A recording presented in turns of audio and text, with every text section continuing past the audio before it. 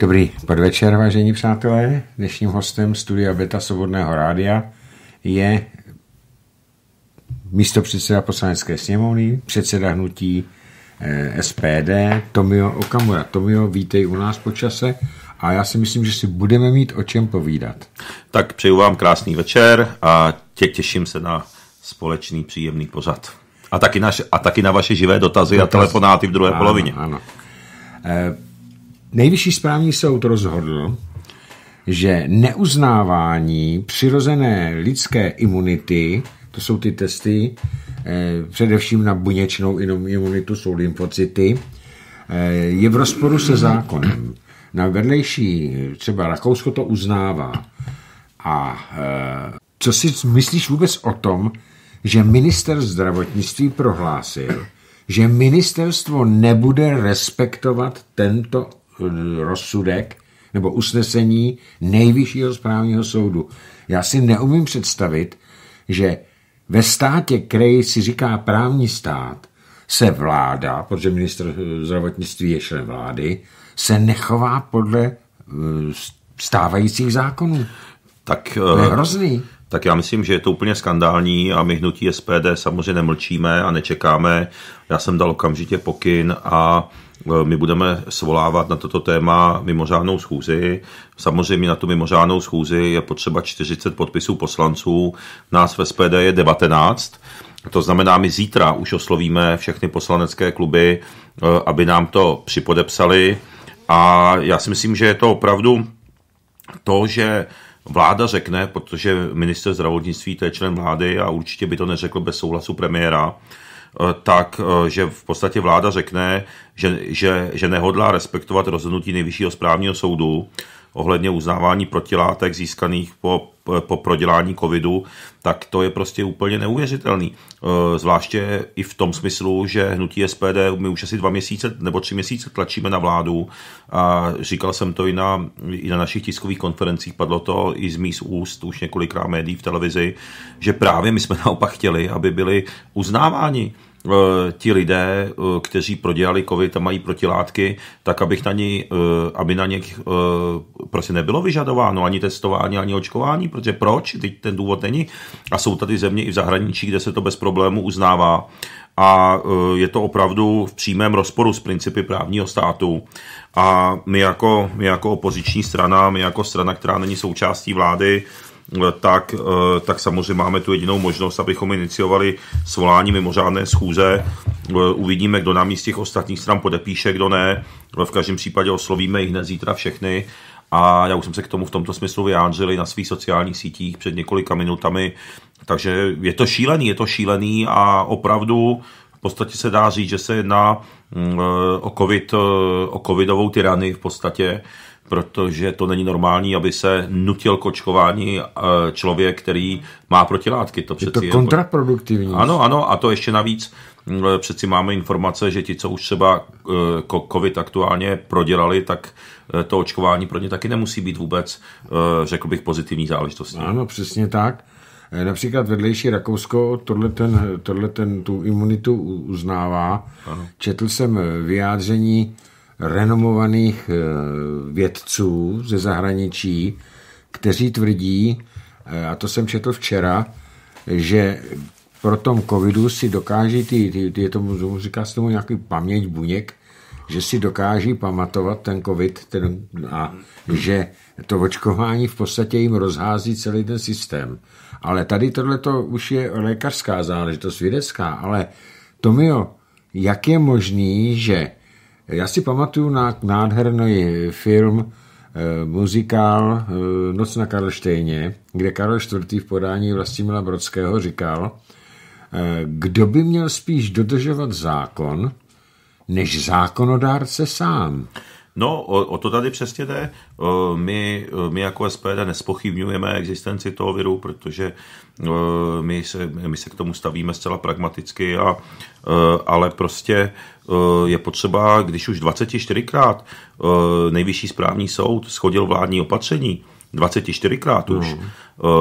a teďka oni znova a znova to prostě zcela protiprávně a protizákonně tlačí. My říkáme prostě, že je potřeba chránit ohrožené skupiny, ty jsou asi definované, tím neříkám izolovat, to jsem nikdy neřekl, Dále, no a prostě tu většinu občanů, která, která není ohrožena, ohrožena v životě, to je prostě drtivá většina občanů, kterou to neohrožuje, tak je potřeba nechat žít a pracovat. A já opravdu nechápu, eh, jakým způsobem, proč to vláda takhle dělá. Já myslím, na, na druhou stranu je to jedno, jedno malé pozitivum to má. A to, že jsou za dva a půl měsíce jsou volby. Aby a, si každý pamatoval, a, kdo co dělá. No a teďka, kdo chce prostě změnu, tak, tak může, to je vlastně celostátní referendum volby, když no. to hodně zjednouším, takže každý může přijít a každý není spokojený, tak si může teďka vybrat stranu a doufám, že SPD bude mít podporu, protože my říkáme, abychom, eh, abychom bojovali s věrem a ne s lidmi. Eh, říkáme jasně, že prostě prosazujeme svobodu myslet, mluvit, dýchat. Eh, to je myslím, že důležitý, protože dneska už, aby se člověk bál vůbec promluvit o nějakých věcech, no. aby nebyl šikanován, teď to vidíme i v této souvislosti a i na těch sociálních sítích a tak dále, nebo aby, eh, aby mu nemazali profil, nebo aby mu prostě, eh, aby nebyl terčem nějaké, eh, nějaké cenzury. No a v každém případě je to i velký, teda velký, velký zvyžený prst vůči září, protože já když jsem slyšel úvahy ministra Vojtěcha, potažmo vlády, že chtějí segregovat děti na základních školách, podle toho, zda jsou očkované nebo ne. To je pro nás úplně nepřijatelná záležitost a tlačíme na vládu.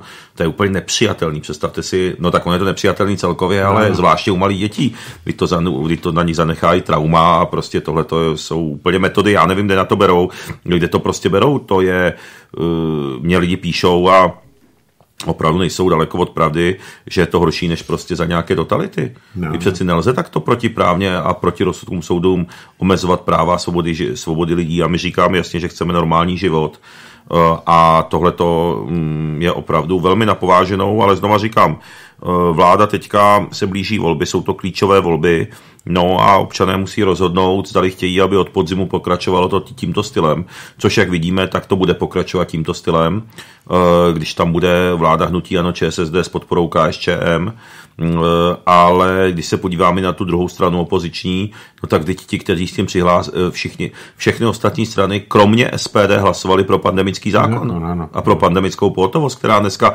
dokonce teďka říkali vláda, že ji prodlouží až do příštího roku. Ano, ano, ale o to hlasovali. Všechny strany byly pro, kromě poslaneckého klubu SPD. Jediný poslanecký klub, který byl proti. Já jsem na to upozorňoval, že je to paskvil že je to protiprávní a že to nefunguje. Takže je to i protiústavní. No a vidíte, ve 24 případech už mi dali soudy za pravdu ale prostě potřebujeme, mandát, potřebujeme posílit mandát od voličů, potřebujeme mít víc hlasů, eh, teď ty preference vypadají dobře, abychom byli jazyčkem na misce vách, o to jde, aby SPD bylo jazyčkem na misce vách. A... museli počítat. Ano, a je to reálně, to tak, eh, reálně, reálně to, tak, to tak může být skutečně, zcela reálně na základě těch preferencí, jenom je důležité, aby všichni občané, co jsou nespokojeni, přišli k volbám, všichni občané, co nás podpoří, podporují, potažmo jsou nespokojeni s tím letím jednáním, no a my jsme změna, my přineseme tu změnu a to je to teďka důležitý. No jinak tady se budeme čtyři roky plácat znova v těle těch, v tomhle stylu. Ale bude to být ještě horší. No, pochopitelně, no tak to vidíme teďka. No. E, Tomio, jsou parlamentní prázdniny. Mm-hmm. Myslíš, že je reálné, já bych si to moc přál, aby se sněmovna z mimořádné schůzy sešla a řešila jen jeden jediný bod, a to je tohleto nedodržení nejvyššího správního soudu a své volné porušování zákona e, ze strany vlády. Máš dojem, že e, ty strany ostatní, protože nepočítám s tím, že by, protože by vám to podepsal někdo z ANO, nebo z KSČM, nebo z, no z KSČM možná, ale se sociální demokracie ne. A z hnutí ANO taky ne, to je, to je pochopitelně. Ne. Takže se a to sežene... taky ne a Pirát taky Takže ne. asi, asi... U, uvidíme, jak to bude. V každém případě reálný je svolat tu schůzi kvůli jednomu zákonu reálný je, protože nám už se to podařilo. Parlamentní prázdniny, parlamentní prázdniny, SPD prázdniny nemá, SPD pracuje naplno, proto příští týden bude svolána mimořádná schůze jenom s jedním bodem, a to je třetí čtení zákona z pera SPD o ukončení zneužívání dávek no. nepřizpůsobivými. To znamená, no, my jsme přitlačili, my jsme to svolali, obešli jsme nějaké poslance z jiných stran. Se. Ano, ano, ano, ta schůze bude svolána na středu od 11 hodin. No a my prostě, eh, protože nám to tam obstruují to tam, obstruují to tam, blokují tento náš návrh zákona Piráti, hmm. ČSSD a KDU ČSL.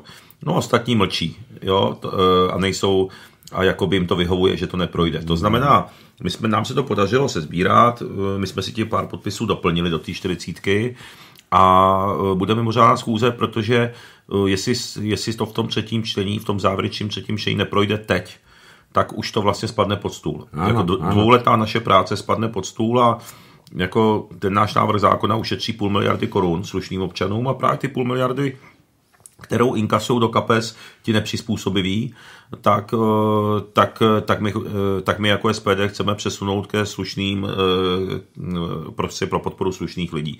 Takže možný to je, uvidíme, uvidíme, jak se nám to podaří u této mimořádné schůze. No a držte nám palce, samozřejmě těžko máme vliv na na zbytek poslanecké sněmovny, abychom je nějakým způsobem silou přemluvili, aby nám to připodepsali, ale v každém případě znova říkám, eh, eh, znova říkám, v říjnu jsou volby a, a tam to musíme rozhodnout, protože jestli tohle bude pokračovat, tak to úplně, úplně prostě zničí životy mnoha lidí, naše ekonomiku, průmysl a staneme se závislí úplně. No tak ještě víc, než jsme, teda no, totálně jasně, závislí. Jasně. Ono to nedodržování zákona v podstatě naší vládou nebo naším ministerstvem zdravotnictví není nic nového a nic ne, ne, ne, jako my převratného.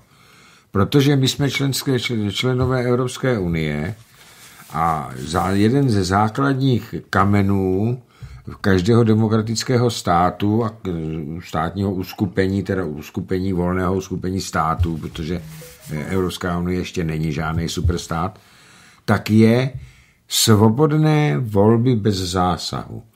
A co si máme myslet, to je moje otázka. O paní Uršule von der Leyen, která je předsedkyně eh, Evropské komise, to znamená šéfka Evropské unie, která se tady sešla s naším pre- premiérem Babišem a jednali o tom, že Evropská unie nabízí České republice v průběhu, já nevím kolika let, 180 milionů korun na následky covidu, ale zároveň řekla, že jestliže Česká republika nesplní podmínky, takže ty peníze nedostane a navíc můžou být ty normální dotace pozastaveny. A jedna z těch podmínek zněla, že nesmí být v čele státu člověk s, ve střetu zájmu.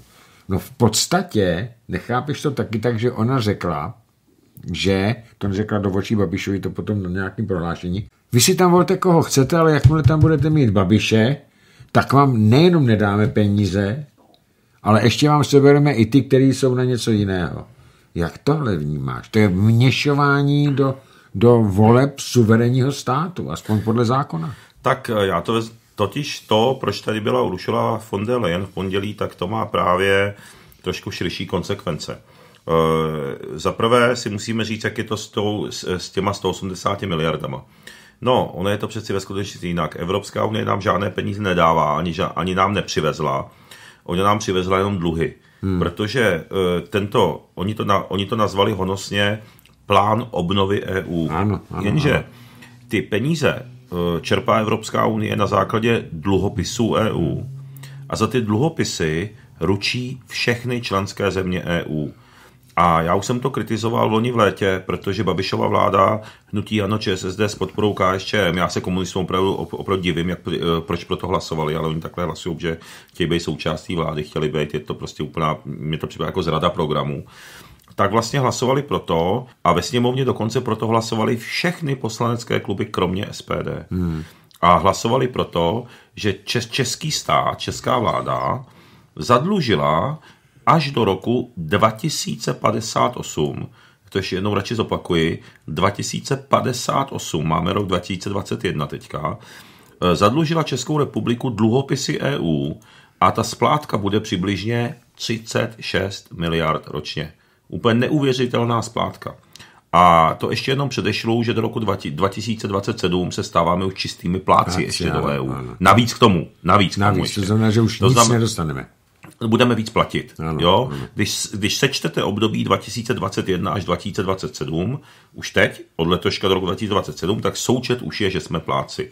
To znamená, Evropská unie nám nejenom, že nic nedává, dokonce nám přinesla jenom dluhy a my spolu ručíme teďka formou těch dluhopisů, a znovu říkám, že SPD bylo jedinou stranou, která to odmítla ve sněmovně, hlasovala proti, spoluručíme i za dluhy Španělska, vlastně ekonomicky krachujících Španělska, Itálie, Řecka a dalších. Portugalska. To, no, ale to ještě není všechno.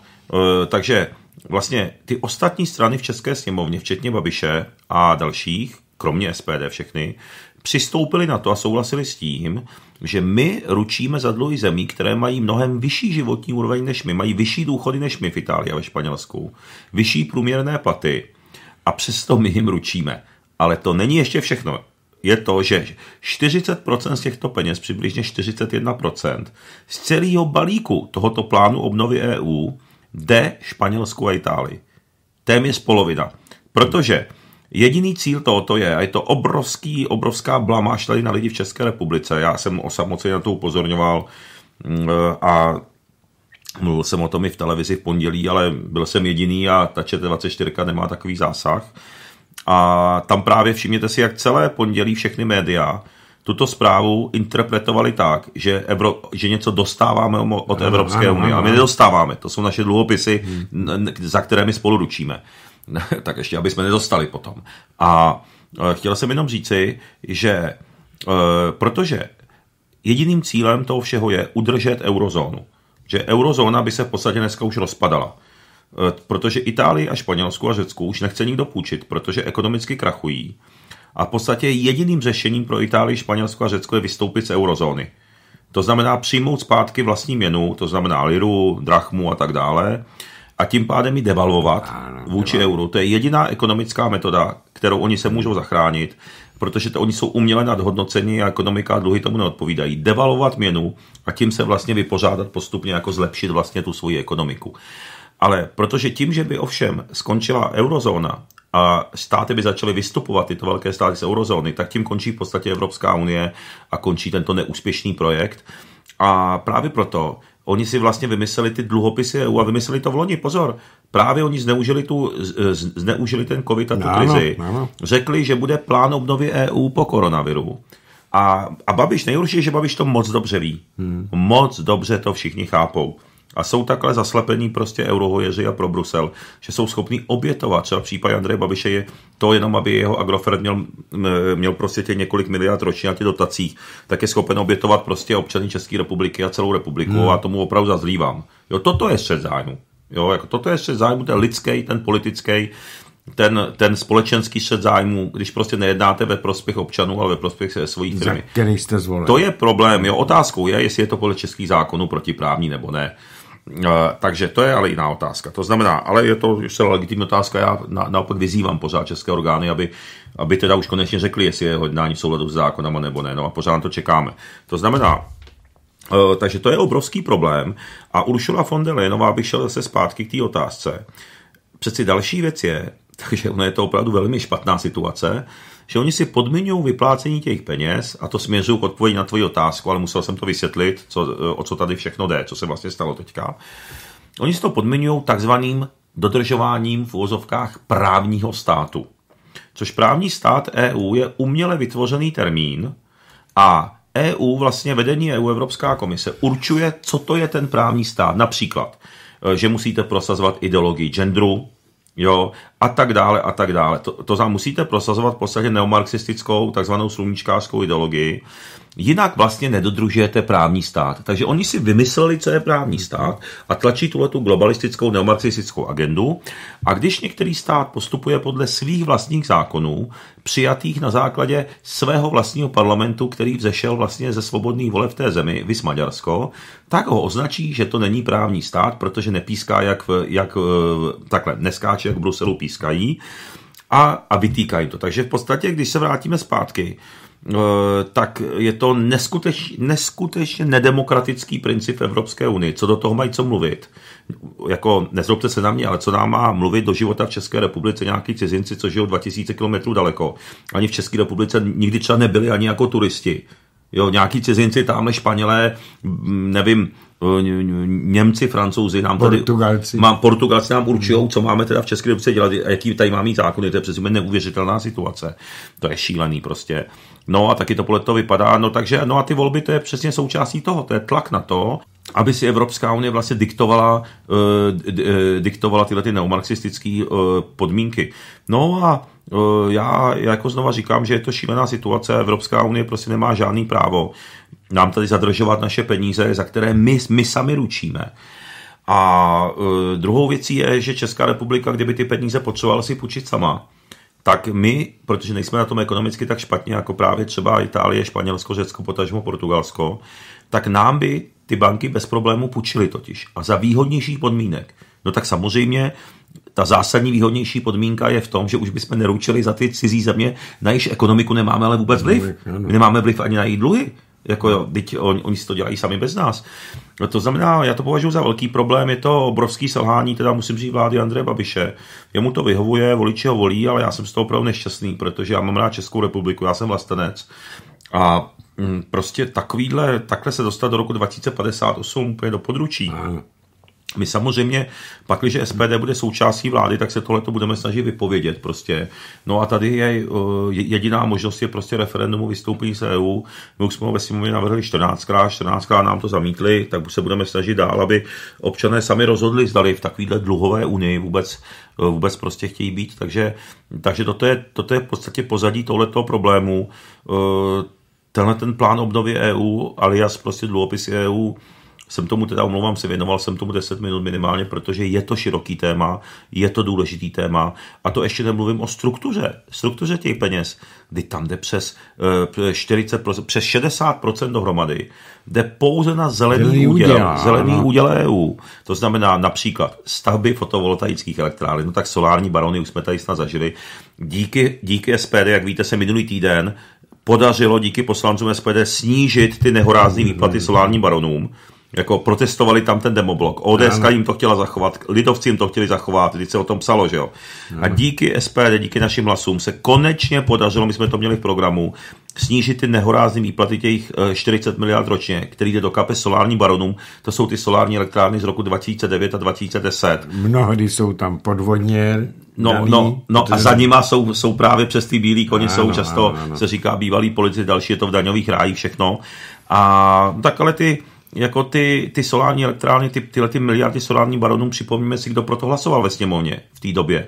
Hlasovalo pro to KSČM, ČSSD, ODS, strana zelených a KDU ČSL. Tak on to navrhl Brusík. Ano, ale těchto, ale těchto pět stran to prohlasovalo. Ano, ano, ano. Uh, to znamená, jako těmto stran, pěti stranám můžou občané i posluchači poděkovat za to, že deset let na každý měsíc na složence platíte platí tu částku za ty obnovitelné zdroje, což je částka, která jde do kapes těm solárním baronům.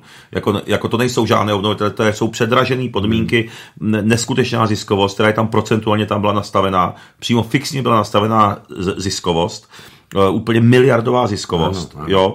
A to jsme teďka ponížili vlastně na 6,3%, kde už je to na hranici úplně. Ano, no to bylo to 13%. Ne... Ano, ano, už se jim to nebude vyplácet, že jo. Uh, takže už, už to bude prostě rozumná záležitost. Takže to byl obrovský úspěch SPD, který jsme zaznamenali minulý týden. Uh, mimochodem, když ještě jsem u toho, já se mluvám, že jdu, ale tak jenom v pár větách. Minulý týden se podařilo SPD dalších několik konkrétních úspěchů. Díky nám se zvyšuje na 500 korun měsíčně, díky hlasům SPD. To byl návrh naší poslankyně SPD Lucie Šafránkové totiž. O tom budeme mluvit příští týden. No, no, ta, ta tady bude vlastně Lucka, Lucka tu bude hostem příští den ve čtvrtek. A to byl návrh SPD z pera Lucie Šafránkové, naší poslankyně, prošel. A díky nám teď budete mít všichni nově 500 korun navíc uh, přídavek na děti pouze pro pracující rodiče, zdůraznu. Pouze pro pracující rodiče, to znamená 6 tisíc ročně. Normálně to prošlo, to normálně hmm. definitivně to prošlo už. Jo, to už se vrátilo ze Senátu, Senát to vrátil a už to prošlo ve sněmovně. Znova. Znova, ano. Hmm. Tak, takže tam už je definitivum, už je nám podpis prezidenta. Ano, ano. Jo, takže díky nám budou mít pracující rodiče o 6 tisíc více ročně přidali na děti. Konkrétně to zákon SPD. No, takže se nám to perfektně podařilo. Já s toho mám obrovskou radost. Pak se nám podařilo ty solární barony, takže stát teďka ušetří několik miliard korun ročně ušetří jenom díky tomu, který můžeme přesunout. A konečně jsme to vytáhli z těch kapes solárním baronům. No, takže já s tom mám radost, že se nám na konci volební období reálně, reálně daří přidávat peníze lidem. A teďka příští týden v pátek se hlasuje o zvýšení důchodů. No tak tam máme... To je tam mimořádná schůze. To je jiná mimořádná schůze ještě, ta je tam v pátek. Ta na ty, ta na ty nepřizpůsobivý je ve středu. Na ukončení zneužívání dávek nepřizpůsobivým. No a důchody my samozřejmě i díky hlasům SPD, už je to jasný, se ty důchody eh, zvednou. Eh, zvednou a budou se, budou se zvyšovat přibližně, eh, přibližně 749 korun. My nejsme teda spokojení s tím, že my chceme, aby se to zvyšovalo všem stejnou částkou, nikoli procentuálně, mm. ale bohužel je nás 19 a jsme v opozici, tak aspoň, že se to zvýší. No a teďka jsem zvědavý, jaký bude osud našeho pozměňovacího návrhu, který tam máme navíc. Opět je to zpěra Lucie Šafránkové, naší poslankyně SPD aby důchodci s nejnižšími důchody do 15 tisíc dostali ještě pětistovku navíc. Mm, jo, o to bude tam velký boj a ukážou zase před volbama všichni svoji tvář protože my celou dobu tlačíme na to a jsme ale jediný ve sněmovně osamoceně a vláda si to neuvědomuje, ani Andrej Babiš. Přeci problémem nejsou tak ty vysoké důchody. Problémem jsou důchody do 15 tisíc, že za ty se prostě nedá vyžít. Takže těm je potřeba speciálně přeci přidat aspoň o něco navíc. Já vím, že pětistovka je málo, ale my jsme opozice, no tak i kdyby prošlo pár stovek navíc díky nám, stejně nějakou no. přídavku na děti.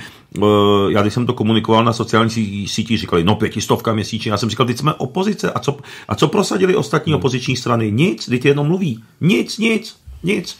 Eh, třeba když to řeknu konkrétně, třeba uh, Lubomír Volný nebo Trikolora, žádný zákon, no, Lubomír, Lubomír Volný nepodal nikdy žádný Jed, zákon. Jeden, jeden podal. Nebo jeden a stejně neprošel, že jo? Ano, neprošel. Jo, a ani na jednání schůze nebyl. Eh, to, že se neumí domluvit s ostatníma. No a prostě politika se nedělá tak, že říkáte jenom něco na demonstrací, politika, reálná politika se dělá, že se umíte domluvit s ostatníma, získat většinu a že skutečně reálně prosadíte, eh, aby, eh, aby lidé měli více, více peněz, bezpečí, spravedlnosti. To je skutečně vysoká politika, nejenom jako vykřikovat někde. Z toho nic lidi nemají. Lidi potřebují víc peněz, bezpečí, spravedlnosti. A to dělá SPD, jako i když jsme opozice. No takže no, teď tam jdou ty důchody, no a doufám, že ty důchody zvýšíme a i díky hlasům SPD budou, budou zvýšení důchody, důchodu, protože Andrej Babiš nemá většinu ve sněmovně. On, on vždycky potřebuje hlasy SPD hmm. u těchto těch věcí, no a ví, že SPD podporuje zvyšování důchodů, takže to bude v pořádku. Tak já se vrátím ještě k té Uršule von der Leyen a k těm penězům a k tomu. Ona nám tady vyčítá, že máme premiéra znova opakuju, Andrej Babiš není mým šálkem kávy. Nicméně on dodržel zákony této země, když zvěřil Agrofer do svěřeneckého fondu, podle ústavních právníků to bylo v pořádku, ale Uršule von der Leyen vůbec nevadí, že její manžel dostává každý rok miliony eur dotace na své podnikání ve farmaceutickém průmyslu a odklepává mu to právě jeho manželka předsedkyně Evropské komise. Do paroma práce, jak říkají bratia Slováci, to není střed zájmu, Tomio? Eh, a to někomu nevadí? Je to tak, on, oni měří dvojím metrem. Prostě tady vidíte, jak Evropská unie škodí a já, já bych znova opakoval svůj návrh na referendum vystoupení z EU. A je to tak, ale ohledně Andreje Babiše, jestli porušuje zákon nebo ne, to nevíme. To je ten problém, že ústavní právníci, jak víme, on, on každý říká něco jiného. Proto my opakovaně vyzýváme přeci Český soud k tomu, aby rozhodl. Přesně A už tak. na to čekáme tři roky. Ano. Jo, to znamená, eh, tady by přeci, proto já opakovaně vyzývám České soudy, ať rozhodnou, jestli jednání Andreje Babiše v souladu s českými zákony nebo ne. Protože souhlasím s tebou v jedné věci, samozřejmě Andrej Babiš je náš, náš politický konkurent, a, eh, a prostě já, já nemám s Nutimanem, s Nutimanem vůbec nic společného, jak vidíme, i programy máme odlišné, ale dokážeme spolu mluvit jako o programových průsečících, vystyhle ty zákony, který třeba SPD prochází. Mm. A, uh, to je, a to je důležitý, tak se právě dělá ta politika, že se musíte umět, umět domluvit prostě s dalšími, aby se získala ta stojenička. Ale je teda pravdou, to já říkám na rovinu, a už jsem to říkal mnohokrát v televizi, že ať nám Evropská unie nemluví tady do našich zákonů. Jo, to jsou prostě, já říkám, SPD trvá na tom, aby eh, na rozdíl od hnutí ano, přijměte si, že Andrej Babiš to říká jenom, když se mu to hodí, my říkáme, že v České republice se pojďme řídit podle českých zákonů. A jakékoliv činy, které udělá český občan v České republice, se mají posuzovat podle českých zákonů. Ať nám tady neříkají z Evropské unie, eh, že, že podle jejich nějakých, hmm, hmm. nějakých závěrů, že je to tady tak nebo onak. Jo? Druhým problémem je, že české soudy nerozhodují dostatečně rychle. No, no tak SPD už samozřejmě předložilo základní soudní reformu, to znamená časově omezený mandát soudců na pět let, aby museli obhajovat, protože tohle, to, že jsou neodvolatelní do důchodu, podívejte se, co to způsobuje. Jako občané čekají na rozsudky 10 let, jo, ten soudce tam sedí za 150 tisíc měsíčně, soud, jsou to vlastně nad lidi, nic se nehoní, tak to je potom ten výsledek, žádná odpovědnost, obrovská chybovost. Teď si vemte, teď se, já jsem o tom mluvil i v souvislosti s tím, s tím s, tím, eh, s tou rezignací nejvyššího státního zástupce Zemana. Hm, tady ho některý média adorovali málem, ale já jsem byl rád, že odstoupil, protože já, taky. protože eh, já jsem předložil statistiku, mám oficiální statistiku právě z ministerstva spravedlnosti, že markantně stoupá částka, že je to cca 300 milionů korun ročně, kterou český stát uh, musí vyplácet nespravedlivě stíhaným lidem. A ta částka za toho nejvyššího státního, státního zástupce Zemana stoupla a markantně. To znamená, já říkám chudáci lidi, oni jsou třeba rok, dva po potahovaní, jsou někde ve vazbě, pak se ukáže, že nic neudělali. A nám to za to nese odpovědnost. No nikdo dneska. Nikdo, tak, ano, takhle nikdo. se to nedá dělat, no. ale ty lidi mají prostě zničený životy. No. Přeci platí, že když nemáte důkazy, tak ten člověk, vy ho nemůžete ve, ve vazbě mít dva roky. Přitom u Ten Evropské unii, ani práci, nic. V Evropské no. unii platí prezumce neviny, u nás platí prezumce viny. No. Ale to mi je další věc. Tady se už vůbec nehovoří o tom, že Piráti mají v, proze, v programu přijetí eura. Jasně. A nehovoří se o tom, že jakmile, a že, že mají v plánu při, při, přijmout, jestliže vyhrajou volby, přijmout co nejrychleji z euro. Ale už neřekli to B, že tím bychom my spadli do eurovalu a museli bychom z našeho rozpočtu sanovat dluhy krachujících zemí.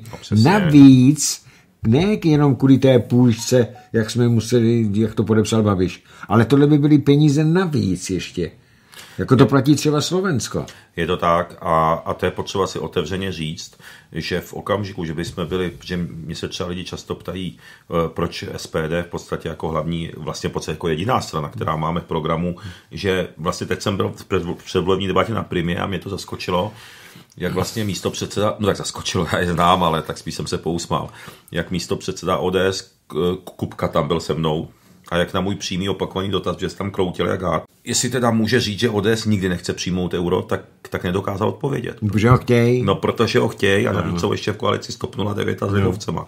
E, takže ten tam byl úplně v zoufalé situaci, takže se ukázalo, že základní debaty, že tam bylo víc hostů, že tam byl, tam byl zástupce hnutí ANO a další, se ukázalo, že SPD je jedinou stranou v českém parlamentu, která nechce nikdy přijmout euro, protože to pro nás není výhodné.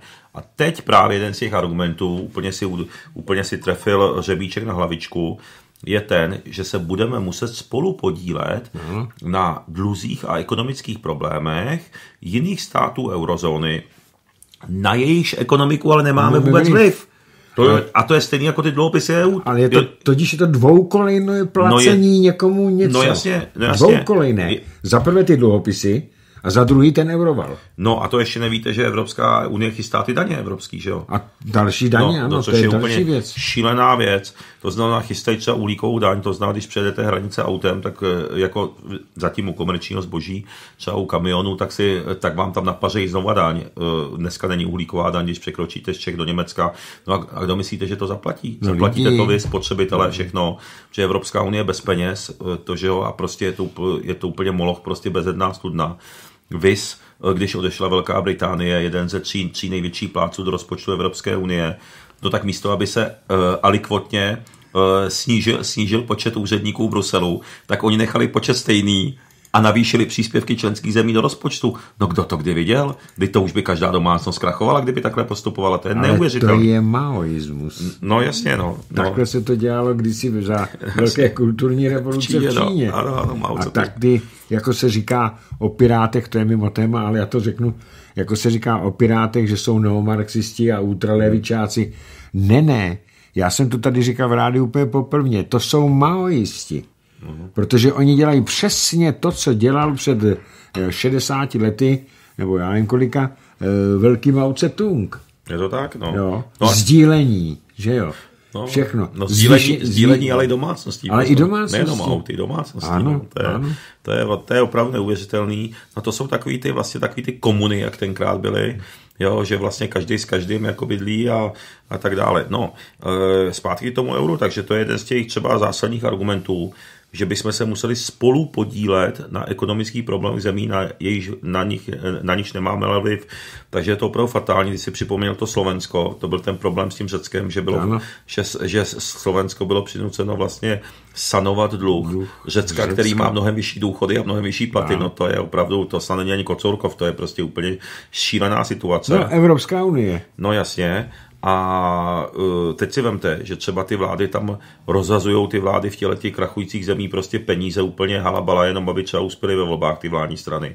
A my jim to pak zaplatíme z České republiky. No. Ani jsme v té zemi vůbec, vůbec vlastně, někdy, vůbec vlastně někdy byli. Nic jsme tam nebyli přesně. Občan tam ani nebyl.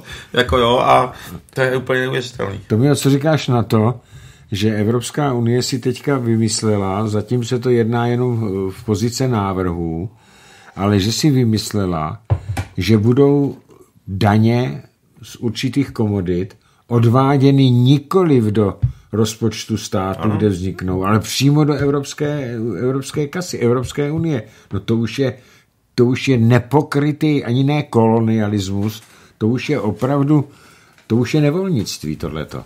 Ne, ne, no to je uh, absolutně neuvěřitelný ale to, to co ta Evropská unie eh, eh, reálně chystá, eh, tyhle, ty, tyhle ty daně EU, tak těch je jako celá řada. Třeba se k tomu ještě za chvíli dostaneme. Ale prostě já už nevím, co na to říct. Jo, já, jako my máme třeba v České republice, když, to, když se podíváme, jaké máme vyšší zdanění třeba práce, tak my, Česká republika, já jsem ten údaj viděl, je asi dva roky starý ten údaj, tak my máme druhý nejvyšší zdanění práce eh, po Francii vůbec v Evropě. Ano, ano, ano, ano. Takže u nás už lidi odvádí zemzdy, proto se taky třeba mnozí z vás určitě divíte, nebo už jsme si zvykli, ale já si jako nechci zvykat na tyhle ty věci a SPD se to nebude rozhodně zvykat, tak, eh, tak, eh, tak vlastně divíte, že máte třeba smlouvu na 30 tisíc a se divíte, jako, eh, kolik vám reálně přistane vlastně v čistém na účtu. A to ještě víme, že 35% navíc platí ještě zaměstnavatel. E, to znamená, je to úplně neuvěřitelný a, e, a musím říct, že je to právě nepřijatelný. Teďka... Bomzách mluvíš teďka. Ano, no, no a teď si vemte, že takový máme daně a teďka Evropská unie nám chce napařit další daně. Ano. Proto o tom mluvím. Jo, proto o tom mluvím. Tak kde už tom, jak už nás tí jako sedří ty lidi? Kdy ti lidi potřebují peníze, kdy se všechno zdražuje. Všechno se zdražuje, Evropská unie nám to ještě víc zdražuje. No, uh, jenom uh, pro, vaši, pro vaši informaci, co chystá Evropská unie. Já jsem si teďka rychle otevřel počítač, tak tu uhlíkovou daň, to už jsem říkal při těch přejezdech, to bude vzájemně mezi státy. Digitální poplatek chystají, ještě nespecifikovali. Potom bude nový systém EU pro obchodování s emisemi, aby to měla přímo peníze, měla Evropská unie. Potom Eh, do června roku 2024 navrhne Evropská komise další nové zdroje příjmu, například daň z finančních transakcí. To znamená, když, budu, když budete posílat, eh, posílat někam součtu na účet peníze, tak vám ještě zvýší poplatek, že jo? A ten přijde rovnou do No a banka to platit nebude, no tak to si buďte jistí, že ne, že jo, to, tak to všichni víme. Potom, potom takzvaný, teď, teď, to, teď to nazývají finanční příspěvek související s podnikatelským sektorem. to je úplně, já už se to musím smát, ale je, je to hrozně vážný, to není k smíchu, jo. To chtějí, že, že to zaplatíme my všichni. Ano. A potom nový společný základ daně z příjmu právnických osob. No je to neuvěřitelný. Ale... Zvedat daně právnickým no, osobám. No jenom daně, daně, daně. daně. No a všimněte si, že když jsme, když jsme potřebovali pomoct eh, třeba v rámci, eh, v rámci té krize, aby byly třeba zdravotnický materiál, no tak každý si stejně hrabal na svým písečku a nikdo nám nepomohl. A dokonce nám Němci transitní zboží zdravotnický no, zadržovali. No, no jasně, jasně. Nám a Rakušanům, myslím. Rakušanům, ano. No, no, no. A Švýcarům tuším ještě, no. Takže, no. takže já vám chci jenom říct, že to, to je to šílený, co se na nás vrhá a e, znovu můžu opakovat, protože samozřejmě mnozí z vás se budou ptát, jaký je řešení. No tak řešení, protože slyšeli jste to, mluvím o roku 2024, mluvím o další, o tomhle tomu, no a Teď na podzim roku 2021 jsou volby, volební období jsou čtyři roky do roku 2025. To znamená, jestli SPD posílí jestli všichni občané, kteří, kteří píšou, že by nás podpořili, skutečně přijdou k volbám, tak SPD dneska se říká, že může být mezi 15 až 20% hlasů, říkají 17, 18, uvidíme, já se snažím být při zemi, ale v tom okamžiku, kdyby takto dopadly volby, tak my budeme jazyčkem na miscevách skutečně. A to by bylo potřeba. A zachráníme to. Přesně tak. A zachráníme to, by... to protože všichni budou muset chodit k nám si prohlasy. No a já prostě, já jsem známý tím, jak víte, že já prostě držím názor, držíme slovo a prostě, mm, e, prostě a nepoklekneme před, tím, před Evropskou unii, takže e, to pak začne tvrdý boj a začne velký tlak na mě, e, jako ještě větší a budou se snažit samozřejmě s Okamurou něco udělat, protože ten, ten tlak těch neomarxistů a těch globalistů, to jsou, to je prostě, ty, to, ty ovládají tu Evropskou unii, takže ale dáme to, musíme to vybojovat, já jsem připravený samozřejmě, jako já jsem připravený, jsem plný energie a samozřejmě vím co a jak, už mám zkušenosti, takže myslím, že se všichni můžete spolehnout. Eh, další takový problém, který tady řešili lidi, tak vy jste podpořili eh, nový stavební zákon. A velký, eh, velký odpor tam vznikly kvůli dvěma, dvěma záležitostem. Za prvé, že se bude muset zřídit nějaký centrální úřad někde v Praze. A za druhý, že v podstatě se sebere pravomoc těm stavebním úřadům na těch obcích, pověřených obcích, kteří, které ty úřady vědí, o co se jedná.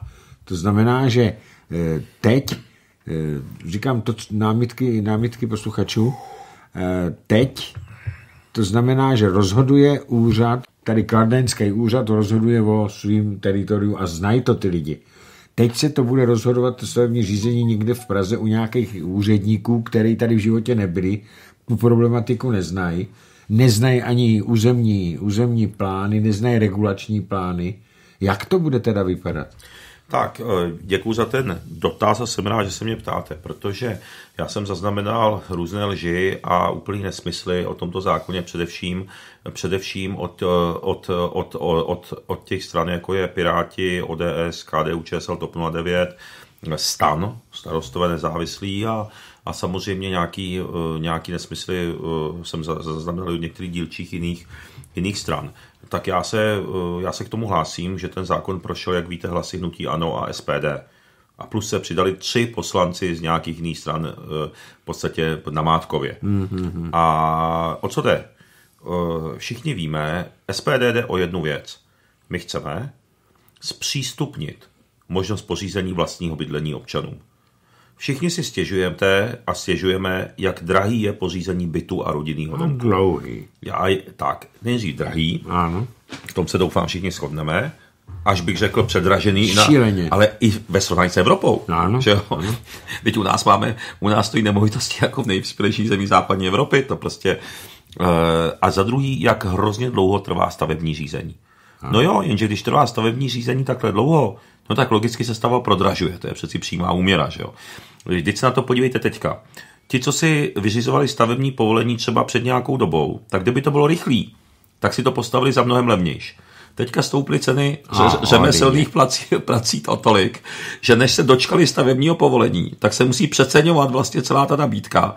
A už je to třeba, já nevím, o desítky procent dražší jsou řemeslní práce. Ano. A je to jenom kvůli tomu, že všechny dosavadní vlády právě tyhle ty strany, které byly vždycky u vlády, ta ODS a Lidovci a ČSSD další, že s tím nic neudělali. Takže teďka všichni občani, co si chtějí pořídit vlastní byt nebo dům, tak podívejte se, jaký nehorázný ceny musí platit. Jenom proto, že se všechno protahuje. A kdyby tu možnost měli rychleji a dřív, čímž mimochodem u bytů, kdyby se mohly rychleji stavět byty, tak je větší konkurence a samozřejmě by mohly být levnější. Samozřejmě. SPD podporuje je tam těch faktorů víc, proto má SPD, my, my prosazujeme, máme to v programu podporu družstevního bydlení, znovu zavedení, protože to se úplně utlumilo tady, v západní Evropě to funguje v Rakousku výborně družstevní bydlení, nájemního bydlení, že jo, jo, protože každá obec město má nějaký třeba schátralý oběd, který jde prostě zrekonstruovat na levný byty a pronajmout to pracujícím občanům nebo slušným občanům, důchodcům, kteří mají trvalý pobyt v tom městě a za nějakou rozumnou částku. To se vůbec nevyužívají tyhle ty metody, aby se zvýšila konkurence na trhu. Ale zpátky té otázce. To znamená, cílem SPD bylo, protože ještě jenom dodám, že, S, že Česká republika je v délce stavebního řízení cca na 160. místě na světě. Dokonce jsme za Bangladešem. Ano. Za Bangladešem. Jo, to znamená, to už jsou úplně nej, nejrozvojovější země na světě. A všechny vyspělé země, ke kterým bychom se rádi, rádi řadili, jsou od desítky míst před náma. Jsou první padesátce všechny. Jo? E, to znamená, e, na, na tomhle tom vlastně vidíte, že to, že u nás to, to stavební řízení trvá tak dlouho, není proto, že se má všechno tak dlouho připomínkovat a že máme být opatrní. Naopak, je to nenormální stav a je to stav jako v super rozvojových zemích a nikoliv jako v těch skutečně vyspělých zemích. Jo? E, tak a my jako SPD jsme na tom spolupracovali e, s Nutím na tom zákonu a bylo hrozně moc připomínek, strašně moc pozměňovacích návrhů a v rámci toho obrovského balíku a to, a to letý práce, my jsme se prostě politicky přiklonili k tomu, že jakýkoliv zlepšení, a já ještě popíšu krátce, jak, a odpovím i na, i na ten tvůj dotaz ohledně toho úřadu samozřejmě, tak jakýkoliv zlepšení je prostě zlepšení už dneska. A takže už budu konkrétně. Eh, tak za prvé vyvrátím tu lež ohledně vzniku nových úřadů, vzniku nového velkého úřadu. Super úřad. S 13 tisíci úředníky. To je, já vůbec nechápu, jak můžou ti politici těch jiných stran, typicky to říká vždycky pan Rakušan z Nutí stan, jak může takhle lhát, ale já ho jsem mu přistihl už ty, eh, při týliži několikrát. Přeci tam dojde pouze k transformaci těch současných úředníků stavebních úřadů pod hlavičku jenom, pod imaginální hlavičku, když si představíte třeba Úřad práce České republiky. No tak ten má pod sebou podřízené jednotlivé úřady práce v jednotlivých městech a obcích. Takže jako kdyby byl pracovník úřadu práce původně na obecním úřadu a pouze on si přepíše vizitku a nově bude pracovníkem úřadu práce České republiky a zůstává na svém místě na tom úřadu. Mm-hmm. Jestli mi rozumíte. Jako nestěhuje se do Prahy a zůstává v těch místech, pouze to bude řízený, řízený podle jedných pravidel z jednoho centra.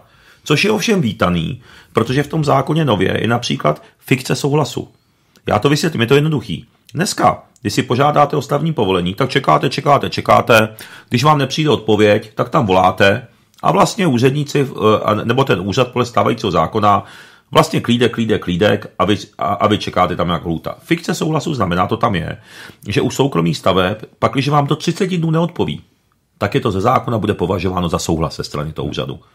Což je skvělý, to, protože vám, že to vyvíjí tlak a u komerčních staveb je to, myslím, do 60 dnů je tam. Mm-hmm. S tím, že když je to zvlášť obtížný případ, tak je to 30 plus 30. Jo, takže stejně 60 ve finále, ale není to rok nebo dva, že jasně, jasně. Jako jo. Tak, stejně tak, Dneska musíte dokládat strašně moc těch různých těch povoleních, já nevím, od hasičů a od čeho, a vy všechno obíháte. A tam se to taky zjednodušuje, eh, zjednodušuje se to zásadně, aby vy jste nemusel dokládat, dokládat tolik tam nosit pořád ty věci dokola, Jo, a tam se to taky zjednoduše, zjednoduše a propojuje. Ale ta fikce souhlasu mi připadá velmi, velmi, důležitá. To znamená, není to to, že ten občan pořádně, pořád na někoho tlačí, ale ten úřad se dostává pod tlak a jestli to úřad nebude stíhat, a jestli úřad je laxní, tak prostě máte automaticky souhlas po 30 dnech. A to je přeci super, že jo. E, ty úředníky jsem vysvětlil, tam se počítá s tím, že až z 90% E, přejdou samozřejmě ty všichni úředníci. Ne, že to je nových 13 000 úředníků. To byla ta neskutečná lež, kterou pořád mm-hmm. opakovali ti v televizi, protože sami s tím nic neudělali. A když konečně SPD, tady přiznávám s nutím ano, jo, že to prošla naše sama. Konečně jsme s tím něco udělali, aspoň malinko jsme to posunuli, jo, tak pořád lžou, protože sami neudělali nic, za 30 let neudělali nic. Dostali jsme se za Bangladeš, Jo. A lidi si nemůžou postavit ani barák prostě rychle. Jo. A znova říkám, rychle neznamená, jako že, že se nebude dbát na o, o, odborný pravidla, ale to, to už jsem srovnal s těma západníma zeměma, že tam to vši, všichni to dělají v pohodě a zvládají to. Teď se snaží jenom, stačí, aby jsme se jenom podívali na ten západ. Ani nemusíme nic tady vytvářet novýho. Budeme to dělat stejně jako oni. A, a takže znova říkám, tady pouze se vlastně mění název, se změní, Jo, že už to nebude stavební úřad uh, Kladno, ale bude to stavební úřad České republiky, mm-hmm. ale ty mhm. lidi, když budou chtít, tak zůstanou sedět na tom stejném místě. Počítá se z 90%, že dojde pouze k transformaci těch stejných úředníků, mm-hmm. že kde byste vzal 13 úředníků nových. Tak, a oni takhle lžou médiích, to je prostě mhm. neuvěřitelný. Jo jako ty ostatní strany. Jo, jako to znamená, uh, to znamená, dochází jenom k té transformaci, takže tam není žádný více náklad, Není jenom se to přesune, prostě jenom si změní vizitku v podstatě v úvozovkách. Takže, no a navíc ty, jo, jako takže, takže to je ten nový stavební zákon a já jsem rád, že se, a doufám, že je to strašně komplikovaný, bude se to muset samozřejmě, že po 30 letech jsme se do toho pustili vůbec.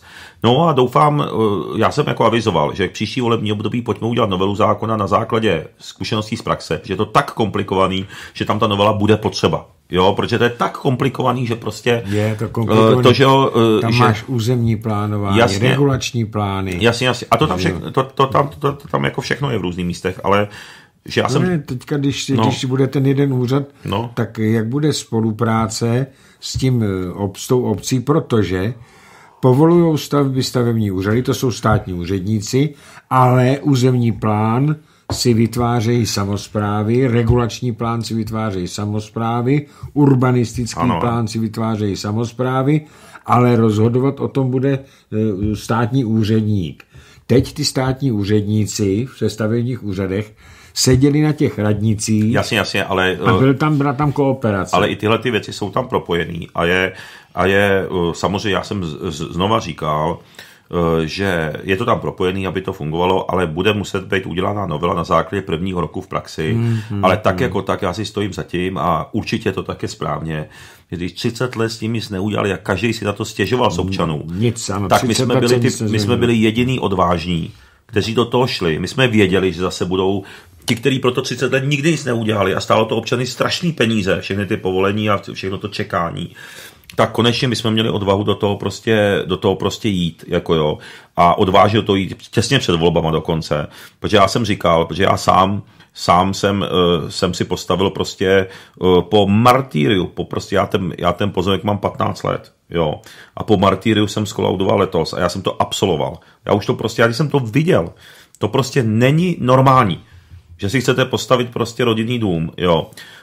A je to prostě, a já myslím, že mluvím za spoustu lidí, kteří, že e, tady spousta lidí má prostě, nebo má, má nějaký domek, dům, nebo si pořizuje byt, který si tím letím prodražuje, že jo tak e, prostě s tím letím jsme prostě dostali, měli jsme odvahu s tím něco udělat. Určitě tam budou ta praxe teďka první rok ukáže, že je potřeba to, to jako novelizovat. To u takhle komplikovaný zákon je normální, to chci zdůraznit, je to normální úplně, u takhle široké agendy komplikovaný zákon, takže to znovelizujeme tak, abychom to ještě, ještě jako vychytali e, v, v praxi, mm-hmm. ale je to jednoznačně posun, jako vážní posluchači, protože ten současný stav je přeci děsnej.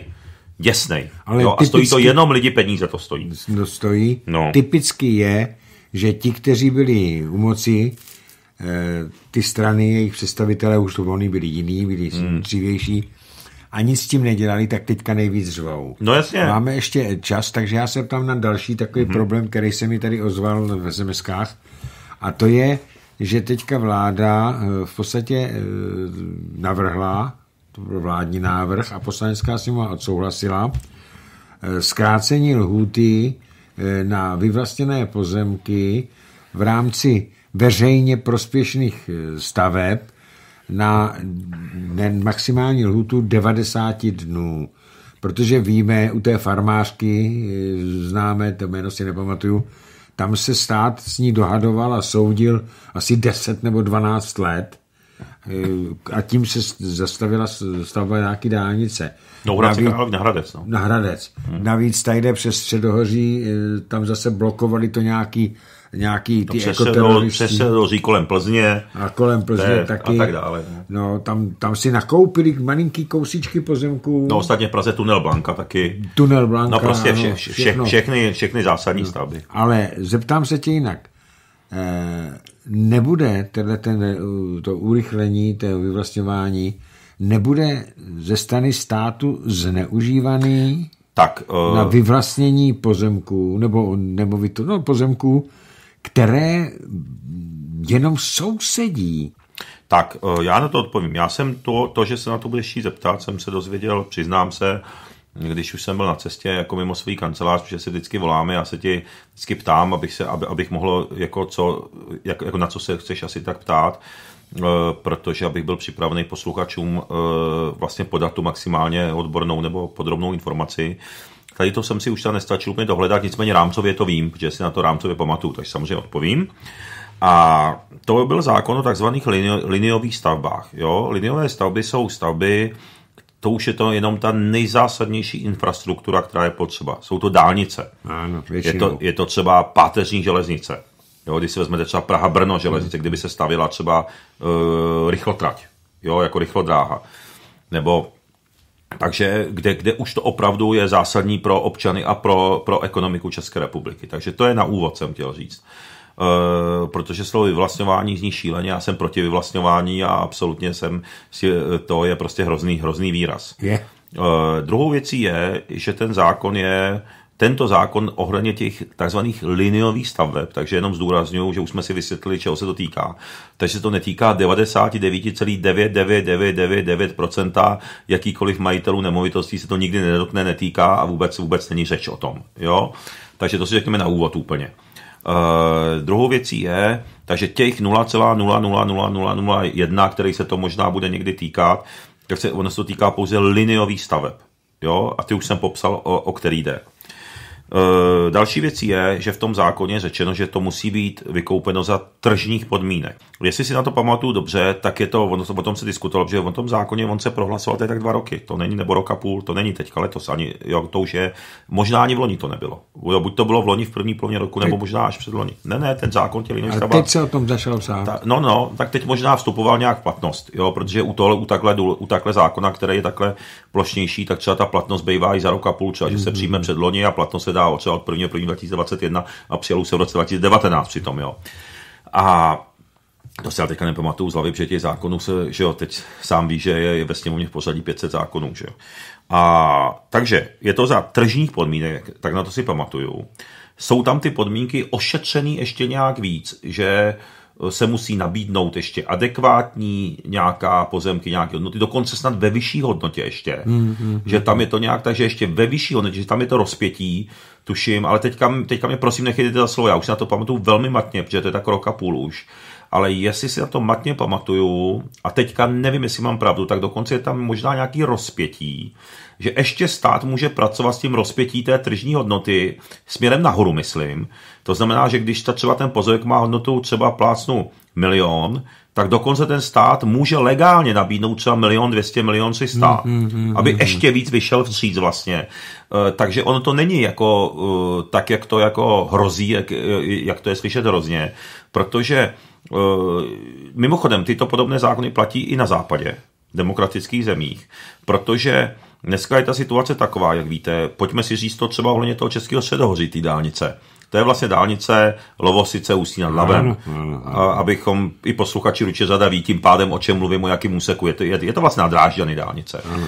A teď si vemte, že tam ty ekologic, ekologi, ekologická združení, která tam účelově vznikají vždycky za tímto, za tímto účelem, často mývají právníka bývalé, bratra bývalého ministra e, životního prostředí Kužvarta, který se přímo jeho bratr jako advokát se specializuje na tuhle tu věc, kdy oni společně potom v podstatě v úzovkách vydírají tu stavební firmu a chtějí na ní miliony korun, aby přestali zdržovat stavbu. Hmm. Ano, hmm. A, a daří se jim, jako jo, spoustě těch združení a nakonec ty miliony vynkasujou. Ale jo, a, a pak to stejně projde, jo. Ale o co, o, o co tady jde? Za to ale se to třeba o deset let zdrží. No, ale o co jde? Vzpomeňte si, kolik kamionů Oni vlastně jsou jako ekologové, který v ozovkách mají bojovat za dobré životní prostředí pro občany. A ve, ve skutečnosti to, to, to životní prostředí pro občany neskutečně zhoršují. Já neříkám všichni, ale třeba v těchto konkrétních případech ano, u těchto liniových staveb. Protože si vzpomeňte, kolik desetitisíců, statisíců kamionů jelo, jezdilo těma vesnicema no. kolem toho českého středohoří, po těch vesnicích kolika lidem zničili úplně zdraví potom, jako ty tam neboli nadechnout, uh, rodiny s dětma se báli přejít tam ulici. Jako, praskali domy. Praskali domy. Uh, to znamená, a výsledek na tom vydělal byla ta ekologická združení, která no, pak vynkasovali miliony. Lidi mají zničený domy, zničený zdraví, často tam byly nehody, že, že jo, proč nějaký děcko třeba... Silnice odepsaný. Jo, jako silnice odepsaný, jo. A takže z hlediska té ekologie ve skutečnosti by bylo mnohem lepší, kdyby tam ten tunel a tu dálnici postavili, že jo, jako třeba v případě Plzně tunel. Vzpomeňte si na ty tisíce kamionů, co projížděli centrem Plzně. Ty z toho byly už vyřízený úplně. a nic nemohli udělat uh, s těma nějakýma združeníma ekologických, hmm. přičemž ty uh, lidi z těch ekologických združení, nebo ty právníci, ty tam ani nebydlej. No, to je prostě no, biznis no, pro ně. No, jo. No, no. A a vlastně finálně to ničilo životy vlastně uh, statisícovému městu. Že jo, životy, nemovitosti, uh, životní prostředí prostě, jo, se tam nemohli ani nadechnout. Jo, t- takže Mm, no a samozřejmě to neskutečně prodražilo i českému státu všechno a všem vlastně. To znamená, tento zákon o takzvaných liniových stavbách musíme vnímat z tohoto pohledu, Jo, proto taky většinově prošel tenkrát ve sněmovně. A znova zdůraznuju, jestli si pamatuju dobře, tak to rozpětí je tam právě zákon, že stát, hmm. stát standardně nemůže dát víc, než je třeba ta, eh, jako ta vysoutěžená tržní hodnota.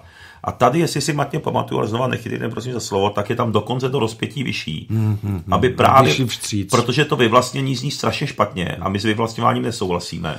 Máme zkušenosti právě z dob no, minulých. No. no, tak přesně, ale tady se to týká opravdu hrozně úzkého segmentu a skutečně toho nejvyššího veřejného zájmu.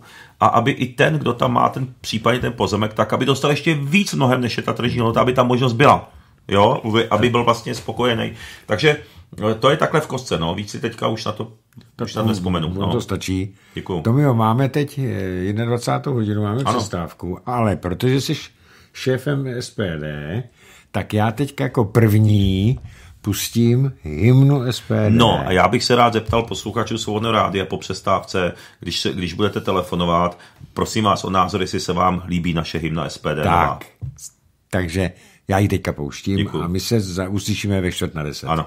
Vážení přátelé, máme po přestávce, jsme tady a protože tady je hrozně otázek, takže hned jdeme tomu na otázky eh, zatím eh, SMS-kama a jakmile e, budete chtít volat, tak telefon je známý do studia Beta 731 720 756.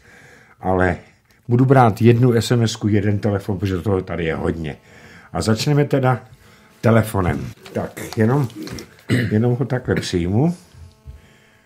Tak, dobrý večer, můžeme, můžeme si povídat. Já vás zdravím, pane Vladimír, a zdravím taky Tomia Okamoru u telefonu Leoš Bucký. Eh, já jsem se chtěl zeptat, vy jste se prvně hodně bavili o tom, že eh, ministerstvo zdravotnictví nechce respektovat eh, rozhodnutí nejvyššího správního soudu.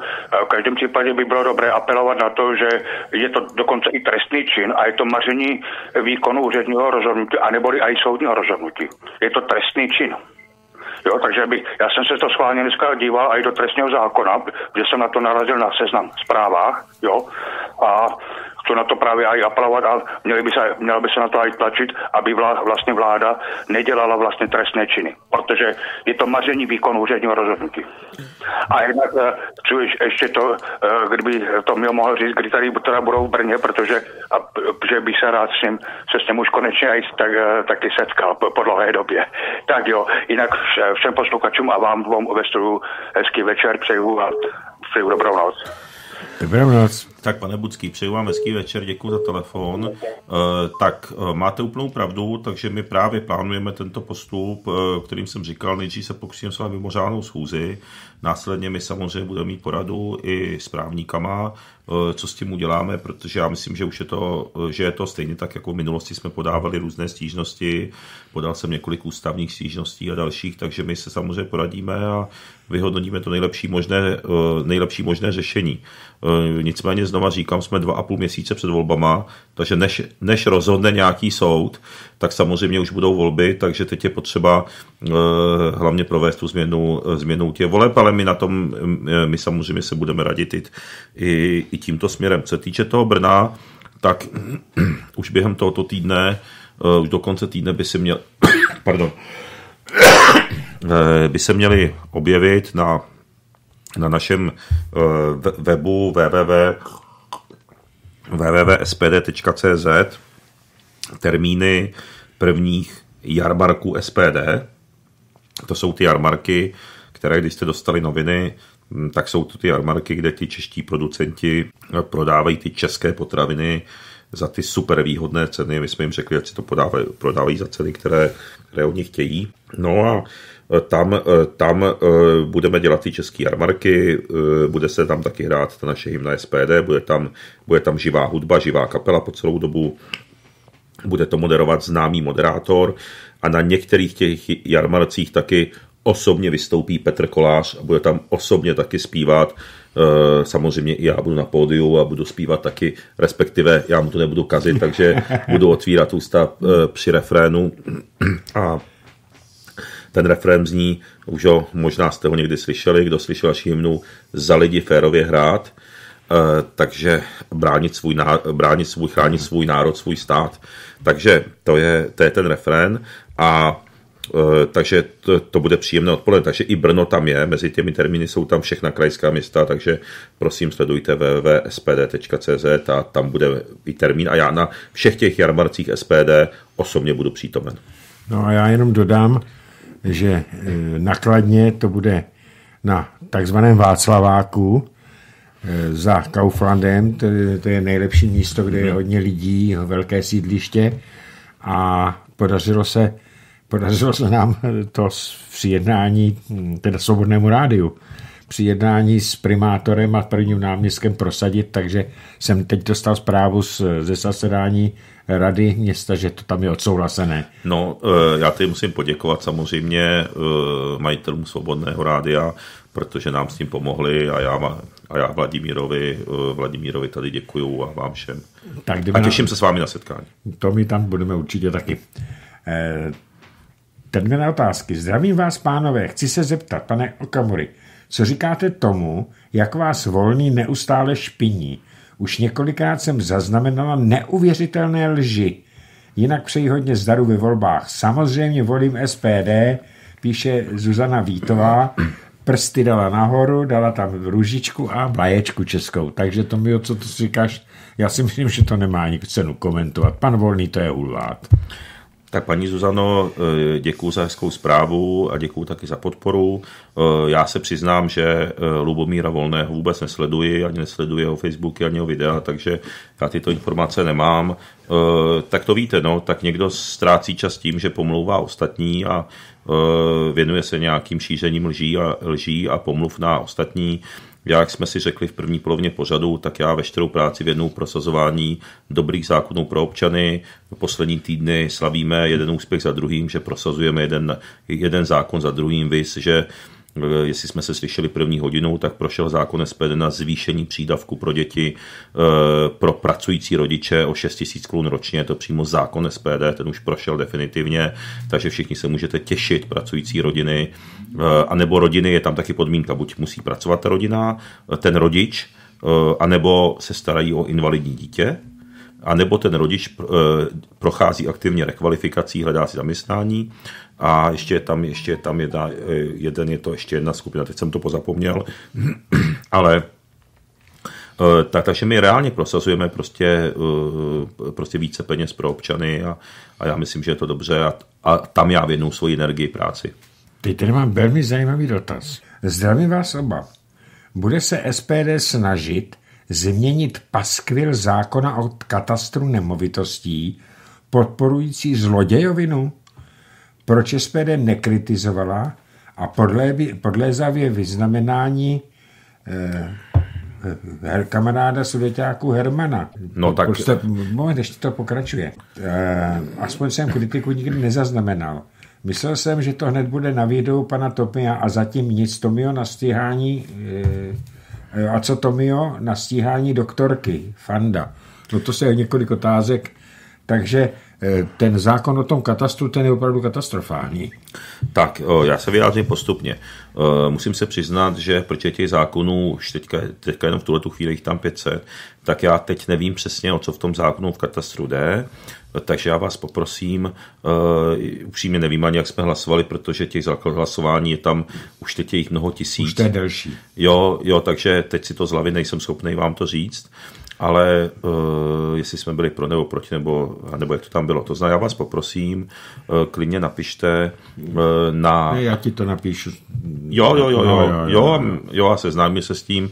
Teď samozřejmě uh, je už konec volební období, takže už nic neprojde, ale je to na další volební období, uh, aby, Bylo by to důležité. aby proběhla ta novela. Jo, já, takže, já to popíšu, takže děkuji za tu informaci.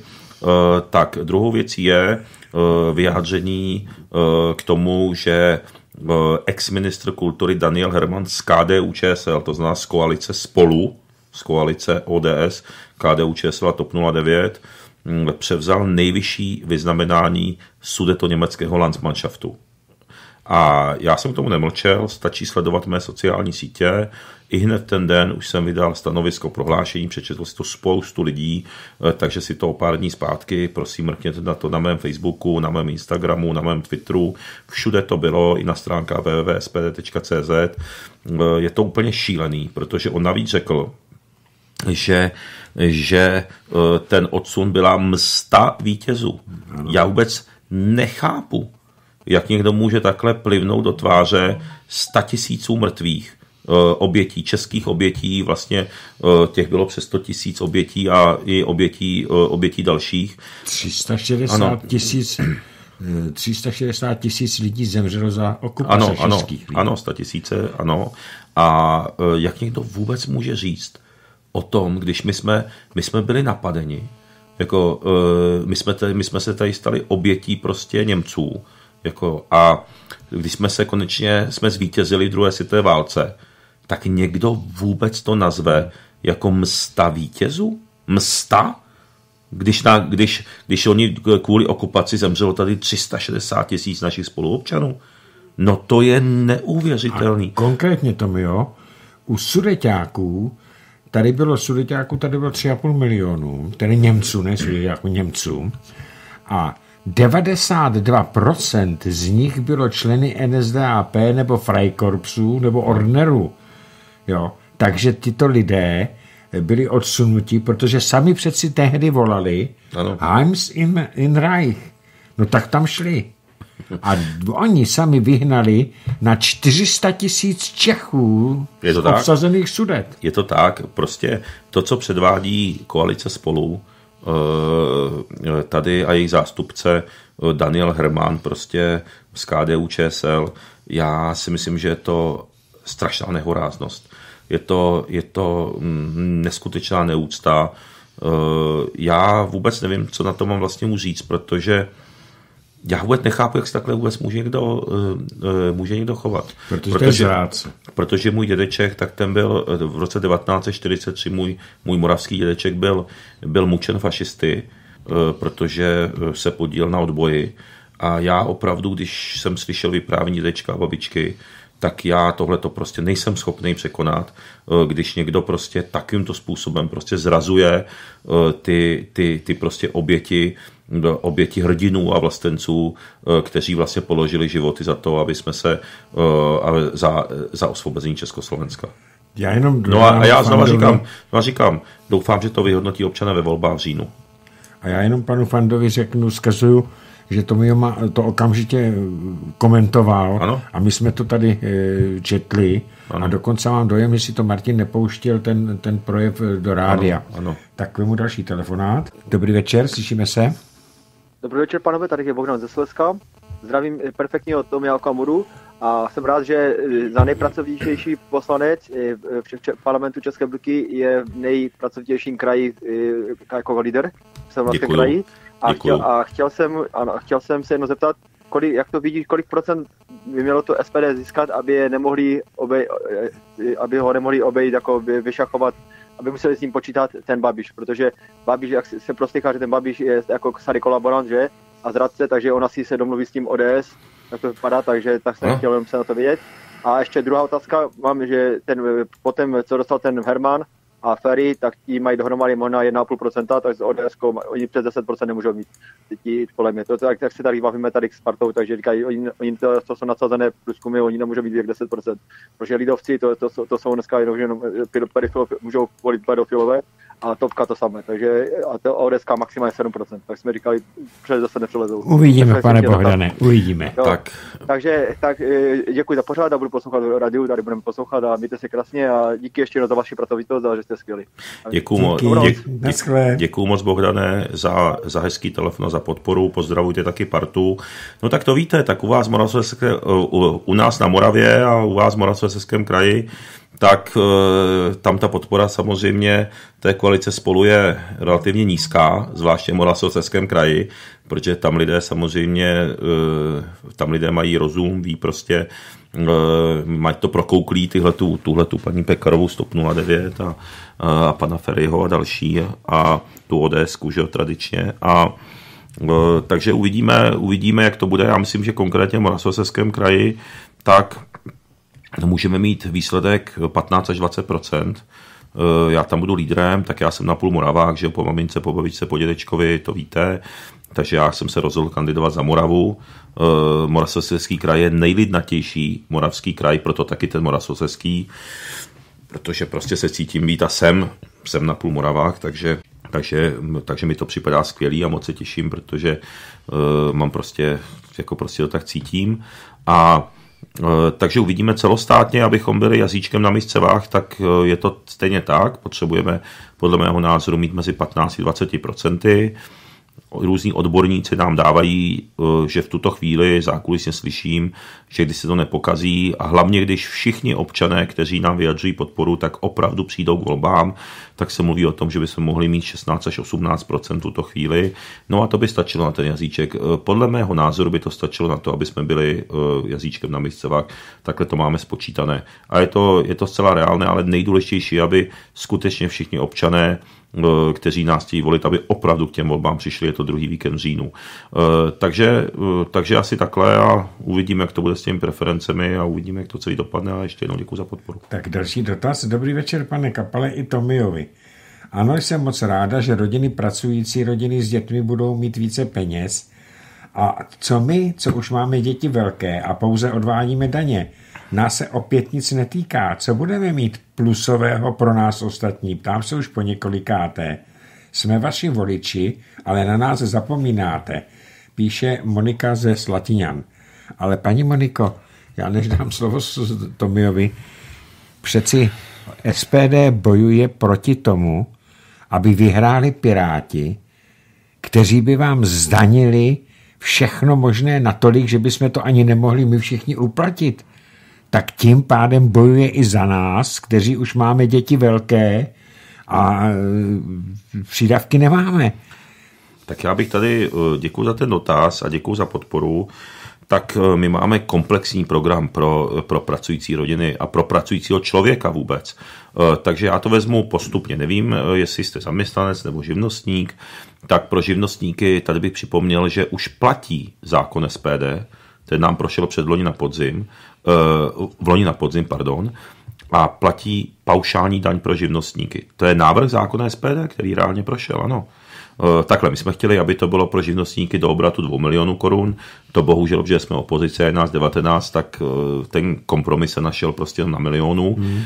Ale i tak jako tak, ta paušální daň je velký zlevnění, zlevnění, zjednodušení, odbyrokratizování živnostenského podnikání a máme v programu pro další volební období, doufám, že budeme jazyčky na miscevách, že bychom to chtěli zdvihnout na ty 2 miliony, aby se do toho vešlo ještě více živnostníků. Co týče, co týče zaměstnanců, no tak tak tady samozřejmě už to, už to naznačil uh, Vladimír, protože uh, já to, já, to znovu připomenu, že Piráti, Piráti navrhují zásadní zvýšení daní.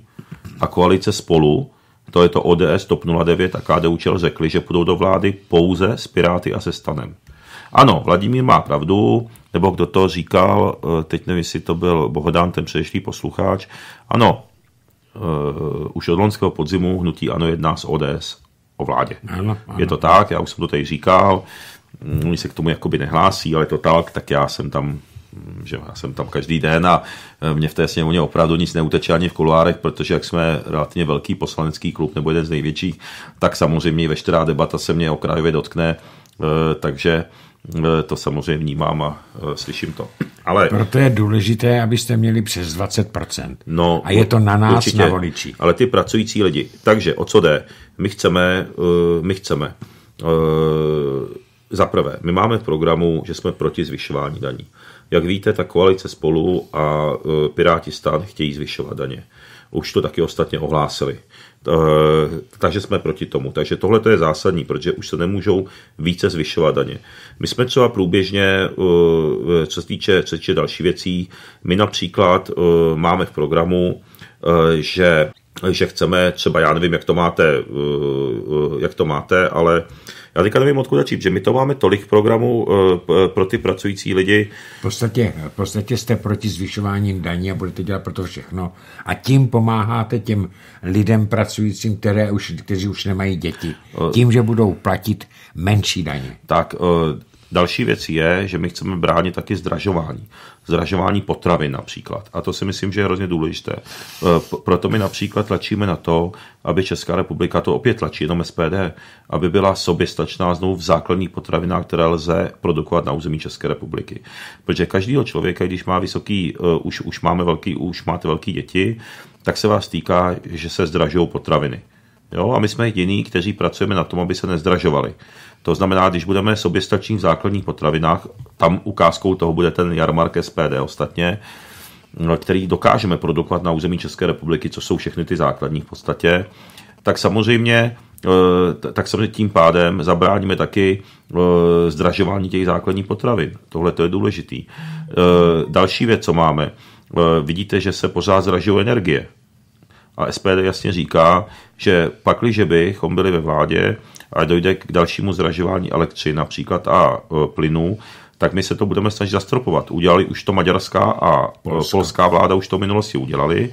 Samozřejmě Evropská unie zvala, že jo, protože je to globalistický projekt a Evropská unie přeci kašle na to, co si, e, jestli, jestli se zdraží energie Polákům nebo Maďarům, to je jim přeci úplně jedno, oni chtějí hlavně inkasovat, ty nadnárodní firmy.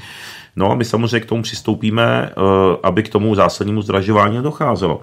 To znamená, eh, vám, co už máte větší děti a jste pracující, tak SPD je garancí toho, že se budeme všemi silami snažit, aby se nezdražoval ten život těm slušným lidem a naopak, aby jsme jim mohli ještě přeskupit, pe, eh, přeskupit peníze. Budu teďka konkrétní. Stát se teďka snaží například zvyšovat zdravotní pojištění. Jo, to jsou ty povinné odvody z vaší mzdy. A teďka o co jde? Eh, znova se mají zvyšovat ty odvody na zdravotní pojištění. O to máte menší mzdu ale. Ale SPD říká například, když projde náš návrh zákona na ukončení zneužívání dávek nepřizpůsobivými, to je v tom třetím čtení, už jsem to rozebíral, už jste to určitě vícekrát od nás slyšela, je to těsně před posledním hlasováním, tak máme poslední čas. Tak je to úspora půl miliardy korun do státního rozpočtu. A my přesně říkáme, přesuňme tyto půl miliardy korun k těm slušným lidem. A právě proto je to jeden třeba, nebo říkáme i to o těch o těch zakázkách, kdy to je skoro 90 miliard, na nákup té, eh, těch nových bojových vozidel z Německa. My říkáme, ukončete ten tender. Babiš to ukončit nechce, eh, protože on slíbil, že, že když to v Německu nakoupí, takže ho Evropská unie nechá být s tím před zájmu. To je prostě taky otřesný. No ale my říkáme, ukončeme to a přistupme k tomu jako Poláci, Maďaři, který prostě rekonstruují stávající techniku, udělají to třeba Finové u, u bojových vozidel. A opět ušetříme prostě, můžeme ušetřit desítky miliard, eh, minimálně přes 50 miliard korun. A zase to můžeme přesnout ke slušným lidem tím, že jim nebudeme zdvihat eh, odvody na zdravotní, potažmo třeba na sociální pojištění. Eh, to za ostatní strany, včetně hnutí ano mimochodem, včetně ČSSD a s podporou KSČM vám ty odvody zdvihají. No hmm. tak jako, takže vlastně vy třeba reálně pracující občané si myslí, že že třeba co udělá, eh, že třeba oni jak, oni jak na ně myslí. No jak myslí? Jako vždyť eh, se vám ubírá z peněženky čím dál víc. A podívejte se, že ten případný růst mest vůbec neodpovídá tomu, jak se tady zdražuje. Jo, takže v podstatě, eh, v podstatě ten spotřební koš se zdražuje a vám té peněžence reálně v podstatě o moc víc ani nezbývá. My to chceme otočit, aby skutečně jsme směřovali k těm nejvyspělejším západním zemím, aby se ty základní životní, životní potřeby nezdražovaly a tím pádem logicky, když stoupne mzda, tak vám zbyde víc peněženkách. Takže my toho máme spoustu připraveného, eh, a jsou to povinné odvody bydlení, že jo, samozřejmě, tak, to je, tak tam máme opravdu propracovaný program, už jsem to tady naznačil. Eh, je potřeba podpořit družstevní bydlení, nájemní bydlení, a tak dále. Tím pádem se zvýší konkurence na trhu bydlení a zlevní se pořízení, mohlo by se zlevnit pořízení vlastního bydlení. Takže a to jsou ty, to je taky obrovsky drahá položka. E, co dál? Zdravotnictví tak, to už asi řeknu poslední věc, ale teď mi napadá dalších asi 10 věcí našeho programu. E, podívejte se třeba na zubaře, stomatologickou péči. No tak to je jediný SPD, který o tom mluví a jo, a chceme to programy řešit. Protože dneska, když vám třeba potřebujete zub, no tak se podívejte do úst třeba mnoha občanům, třeba střední, nižší střední třídy, jsou to pracující lidé, oni nemají ani na nový zuby, no. oni chodí bez zubů, jenže pojďte se, jak se pak zhorší zdravotní stav, že když nemůžete pořádně kousat, tak se vám zhorší, postupně zhoršuje zdravotní stav, ani si to uvědomujete, protože když to nenakoušete, tak se máte žaludeční střevní problémy. Samozřejmě potom máte velký zdravot, potom máte postupně zdravotní obtíže a zkracuje se vám i kvalita života a, a věk dožití. A my jsme jediní, kteří říkáme, že chceme tu stomatologickou péči vrátit co nejvíc ještě pod pojištění, protože přeci není možný, že lidi nemají na zuby, protože prostě je to tak drahý a uh, vydělávají zubaři, ale prostě to, a já vím, že těch zubařů je málo, což je obrovská chyba samozřejmě dosavadních vlád. Ty se na to úplně vykašlali, protože jak jsou to všechno bohaté elity, no tak oni to neřešejí, no tak si prostě zaplatí implantát za 60 tisíc. A jak to má přítel, jak tomu přijde ale normální člověk. Jako to znamená, my chceme prostě, zuby jsou součástí lidského těla. E, tady prostě dosavadní vlády řekly, v podstatě nám říkají, že to není součást lidského těla. To je přeci nesmysl. Jako zub je normálně e, lidský tělo jako všechno jiného. A, a ty nesmysly, co já poslouchám vždycky od těch jiných politiků, no že prej, když si lidi budou pořádně čistit zuby, takže nebudou mít zubníka, to jsou nesmysly úplný, jako to přece není pravda, různý má, prostě každý má různý zdravotní e, nějaký dispozice. Eh, a eh, například eh, já nemám zubníka v podstatě téměř vůbec jako celý život. Já jsem, já jsem, já tyhle ty problémy nemám, ale třeba můj, můj mladší bratr, který má stejnou maminku, logicky stejného tatínka, tak, tak problémy má, takže to takhle prostě není a čistíme si zuby pořád jako od malička. To znamená, to jsou taky věci, které prostě přispějeme pracujícím lidem, se snažíme přispět, aby se jim zpřístupnila zdravotní péče. Chceme třeba, pojďte si, jak dlouho se čekáte i na zákroky třeba Jo, jo jako, a, a to je taky důležitý program SPD. Nikdo na to nemyslí. My chceme zkrátit i čekací dobu na různé prostě zákroky a to se přesně týká pracujících lidí. Jo, eh, chceme třeba u těch, co mají těžké, těžké profese, náročné, fyzicky náročné profese, tak bychom třeba rádi eh, snížili věk odchodu do důchodu. Jo, a prostě je tady spoustu, my to máme, teď mi napadají další další věci, co máme v programu, je to nekonečný. Opravdu pro ty normální pracující lidi, zdravotní péče, dostupnost, eh, důchody, no tak eh, pojďte si, vy si odvádíte celý život na důchody, důchodový pojištění a pak vám dají 10 tisíc nebo 11 důchod, jako, jako za celý život, a mezi tím se zdražilo tak, že na to nemáte.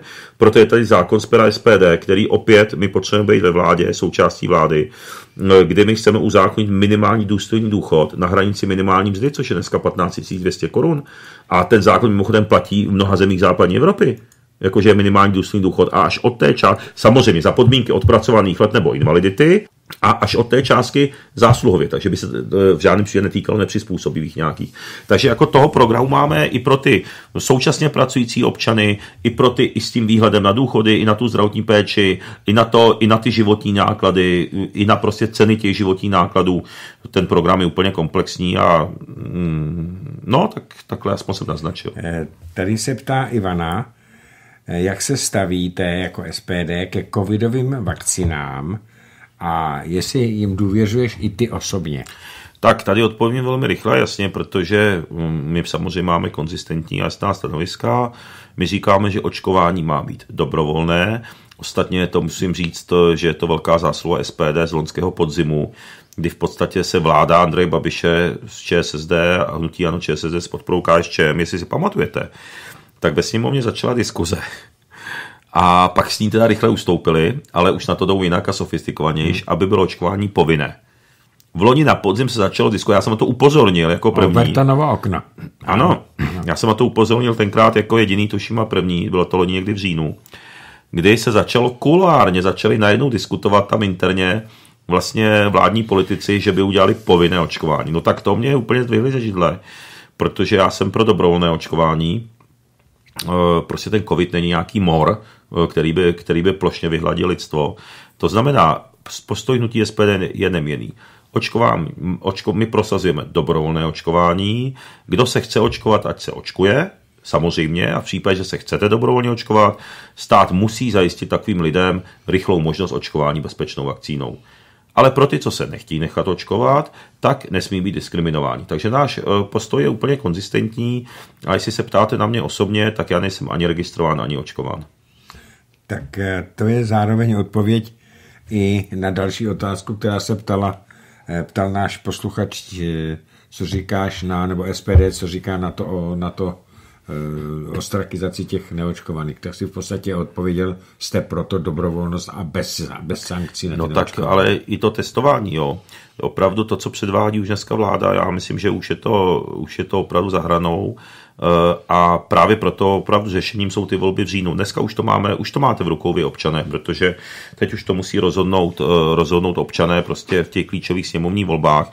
Ale třeba to testování, já jsem prostě, to, že vláda říká Andrej Babiš a ministr Vojtěch, že na jednu stranu chtějí vyžadovat na občanech testování a na druhou stranu ho nechtějí hradit, tak proti tomu jsme se důrazně ohradili ve sněmovně. Teďka no. přemýšlí, co s tím, že, že se blíží volby, že jo.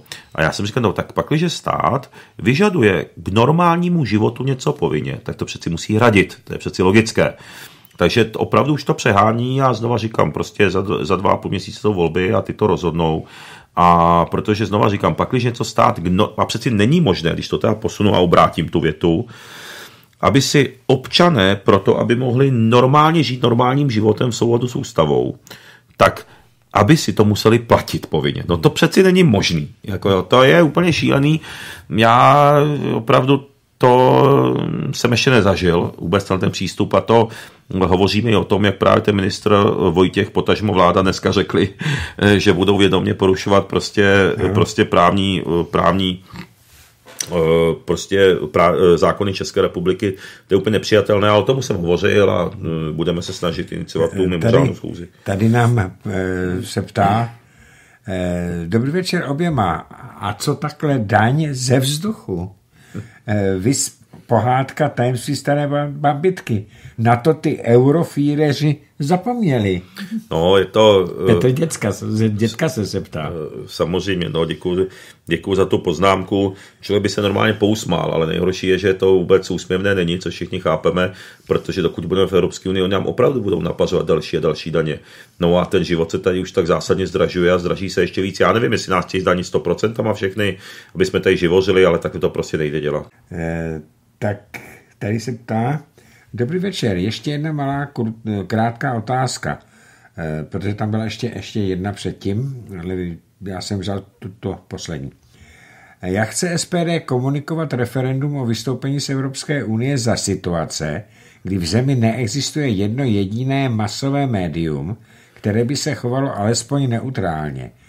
Ze situace v mém okolí vím to, že lidé v 90% případů přejímají z main, názory z mainstreamových médií a ti, co přeberou názor z ČT, tak si o sobě myslí, že jsou inteligentní. Myslím si, že bez zásadní reformy české televize nemá referendum o vystoupení z EU smysl, píše Jiří.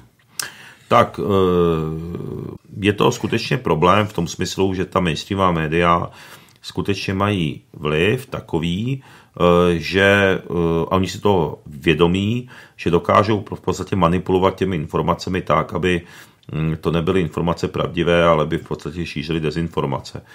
A eh, jak s tím? No tak Česká televize, Český rozhlas, musím říct, že je to strašně složitý, protože uh, oni v podstatě musíte tam mít ty své radní, nebo ne svoje, ale musíte mít radní, kteří prostě opravdu chtějí dodržovat zákony. Uh, ten zákon o české televizi, o českém rozhlasu má takovou důležitou slovíčko tam má, že ty média musí být vyvážené. No a samozřejmě tohleto slovo, když jsou to lidi, kteří jsou poplatní někomu, tak si ho vykládají, že mají být vyvážení ve prospěch třeba ODS nebo ve prospěch KDU, ČSL a jsou s tím spokojení ale uh, samozřejmě, když jsou, jsou tam radní jako osobnosti, hm, tak, uh, tak samozřejmě na to dbají. Jo? Takže teď jsou tam našimi hlasy, jsou jak v Českém rozhlasu, tak v Radě pro rozhlasové televizní vysílání, tak v Radě České televize jsou, jsou už několik radních. Hm, vidíte, že se to pohlo, aspoň, aspoň malinko, protože, ten, protože ještě do loňského, do loňského léta Česká televize v podstatě cenzurovala tvrdě prostě SPD.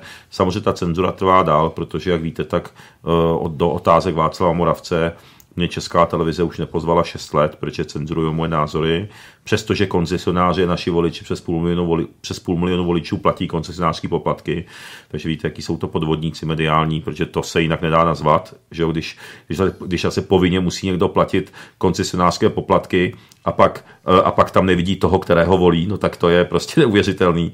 No a ani ty radní, A vidíte, že ani ty radní na to nemají sílu, protože tam nemáme většinu, uh, protože tam nemáme většinu radních těch, ne SPD, protože to má být politická rada. No ale není tam většina um, taková, uh, aby to byli radní, kteří jsou prostě osobnostně tak, tak, tak, tak kvalitní, aby skutečně dbali na to dodržování. No ta, ten radní je pozice na 6 let. Proto ta výměna v podstatě těch radních za ty, za ty kteří jsou poplatní někomu a, a nedbají na dodržování zákona, tak samozřejmě trvá velice dlouho, bude to i na další volební období. Eh, Český rozhlas je z tohoto pohledu taky úplně zabetonovaný. Jo, tam dokonce eh, otevřeně třeba Český rozhlas plus, tak otevřeně špiní a pomlouvají eh, SPD, zatímco tam prostě adorují ty takzvané sluníčkářské strany, ty, ty, ty probruselský, ale prostě ty veřejnoprávní média jsou opravdu v tomhle velký problém, proto my navrhujeme, a opět to máte v rukou ve volbách, my navrhujeme, a podali jsme ten zákon už, takže všechno je připraveno. My navrhujeme zrušení koncesionářských poplatků, to je řešení, a převedení České televize a Českého rozhlasu na státní příspěvkovou e, organizaci. To to je stejný jako jsou třeba policie, nebo plácnu, e, škola třeba, nebo domov důchodců. Takhle dávám příklady, jo. To je to jak jde a jak který. E, a takže na státní příspěvkovou organizaci pod kontrolou nejvyššího kontrolního úřadu. Nejvyšší který kontrol... nemá nárok kontrolovat financování no. a nakládání s našimi penězi no. e, u České televize a Českého rozhlasu. Přesně. Je to paradox. No je to prostě paradox, e, jako oni si to v minulosti, ti takzvaní sluníčkáři a ti, ti prostě ti, eh, ti e, vlastně v podstatě, řeknu to možná mm, nepřesně, ale víte, co budu myslet vlastně ti, ti havlisti, bych řekl, tak, jak si to v 90. letech prostě nastavili, že v podstatě ta česká televize, český rozhlas se úplně vymkli z rukou bez kontroly občanů, jo, bez kontroly těch, kteří, je, eh, kteří to platí. Takže potřeba samozřejmě to řešení máme, no je to prostě, je to prostě zrušení koncesionářských poplatků, převedení pod státní příspěvkovou organizaci, takový státní příspěvkový organizací máme spoustu a pod kontrolou nejvyššího kontrolního úřadu. A e, věřte mi, že by se to rozpohybovalo hned, protože teď jsou tam zabetonovaný, e, to, že dělají si tam e, a v podstatě porušuje se tam zákon, přestože platí ti koncesionáři, no to je přeci úplně neuvěřitelný stav. Tady mám další sms večer, pane Kapele, a pozdrav vašemu hostu. Proč nezmíníte, že dcera Babiše se nenechá očkovat z důvodu naměřených vysokých imunitních látek a cestuje bez problémů po světě, po celém světě? Lze to doložit. Eh, píše Pavel Sturnova a dodává, hymna je super. Eh, Děkuju moc za tu reakci na ty hymny, za, za tu reakci na tu hymnu. Já se dá přiznám, že ta dceru Andreje Babiše nesleduji, takže upřímně ani nevím, jak se jmenuje, takže... Jmenuje se Vivien hmm. a ono dneska se Babiš už nechal slyšet, eh, až jde proti, jde proti Vojtěchovi, že by se mělo uvažovat a vědecky to podložit, že míra těch přirozených po provedělání covidu imunitních látek by mělo být na stejné úrovni jako třeba to testování nebo to. No, tak tady tě musím opravit, ale ty jsi to myslel určitě, určitě, jak ty jsi to jenom konstatoval. Babiš je hrozně sofistikovaný. Já už jsem u něj zažil mnoha desítkách případů, ať je to migrace a další. Takhle to bylo uvedeno. No jasně, že on vždycky říká v České republice něco jiného a. lidem, a jakoby řekne jako pro něco jiného, ale ve skutečnosti v koordinaci s těmi svými ministry prosazuje něco Dobrý úplně jiného. Jenom aby nestratili hlasy a hraje to na obě dvě strany, což my v SPD, v SPD neděláme. Takže na jednu stranu tady prostě zavádí tyhle ty drakonické opatření, na, eh, který vidíme prostě, i který jsou i nesrovnatelný se západní Evropou a s vyspělými zeměmi. Mnohem drakoničtější plošní opatření. Na druhou stranu říká, že si něco myslí jinak. To máte jako s tou migrací. Ale tak já myslím, že posluchači Svobodného rádia v tomhle to mají přehled. Jak on vždycky před volbama řekne, že je proti migraci, přitom celou dobu europoslanci zahnutí ano hlasují pro přijímání migrantů a pro migraci.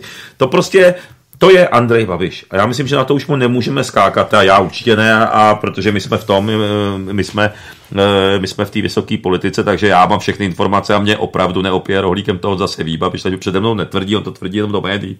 Ale já myslím, že už, už to prokouklo spousta lidí, jo, takže mě se samozřejmě nesnaží tím letím, protože to by se ze zlou potázal, že jo, by se musel zvyhnout a odejít, protože... Ale my jsme jako o tom, že, že, že o tom víme, tak jdu dál. No.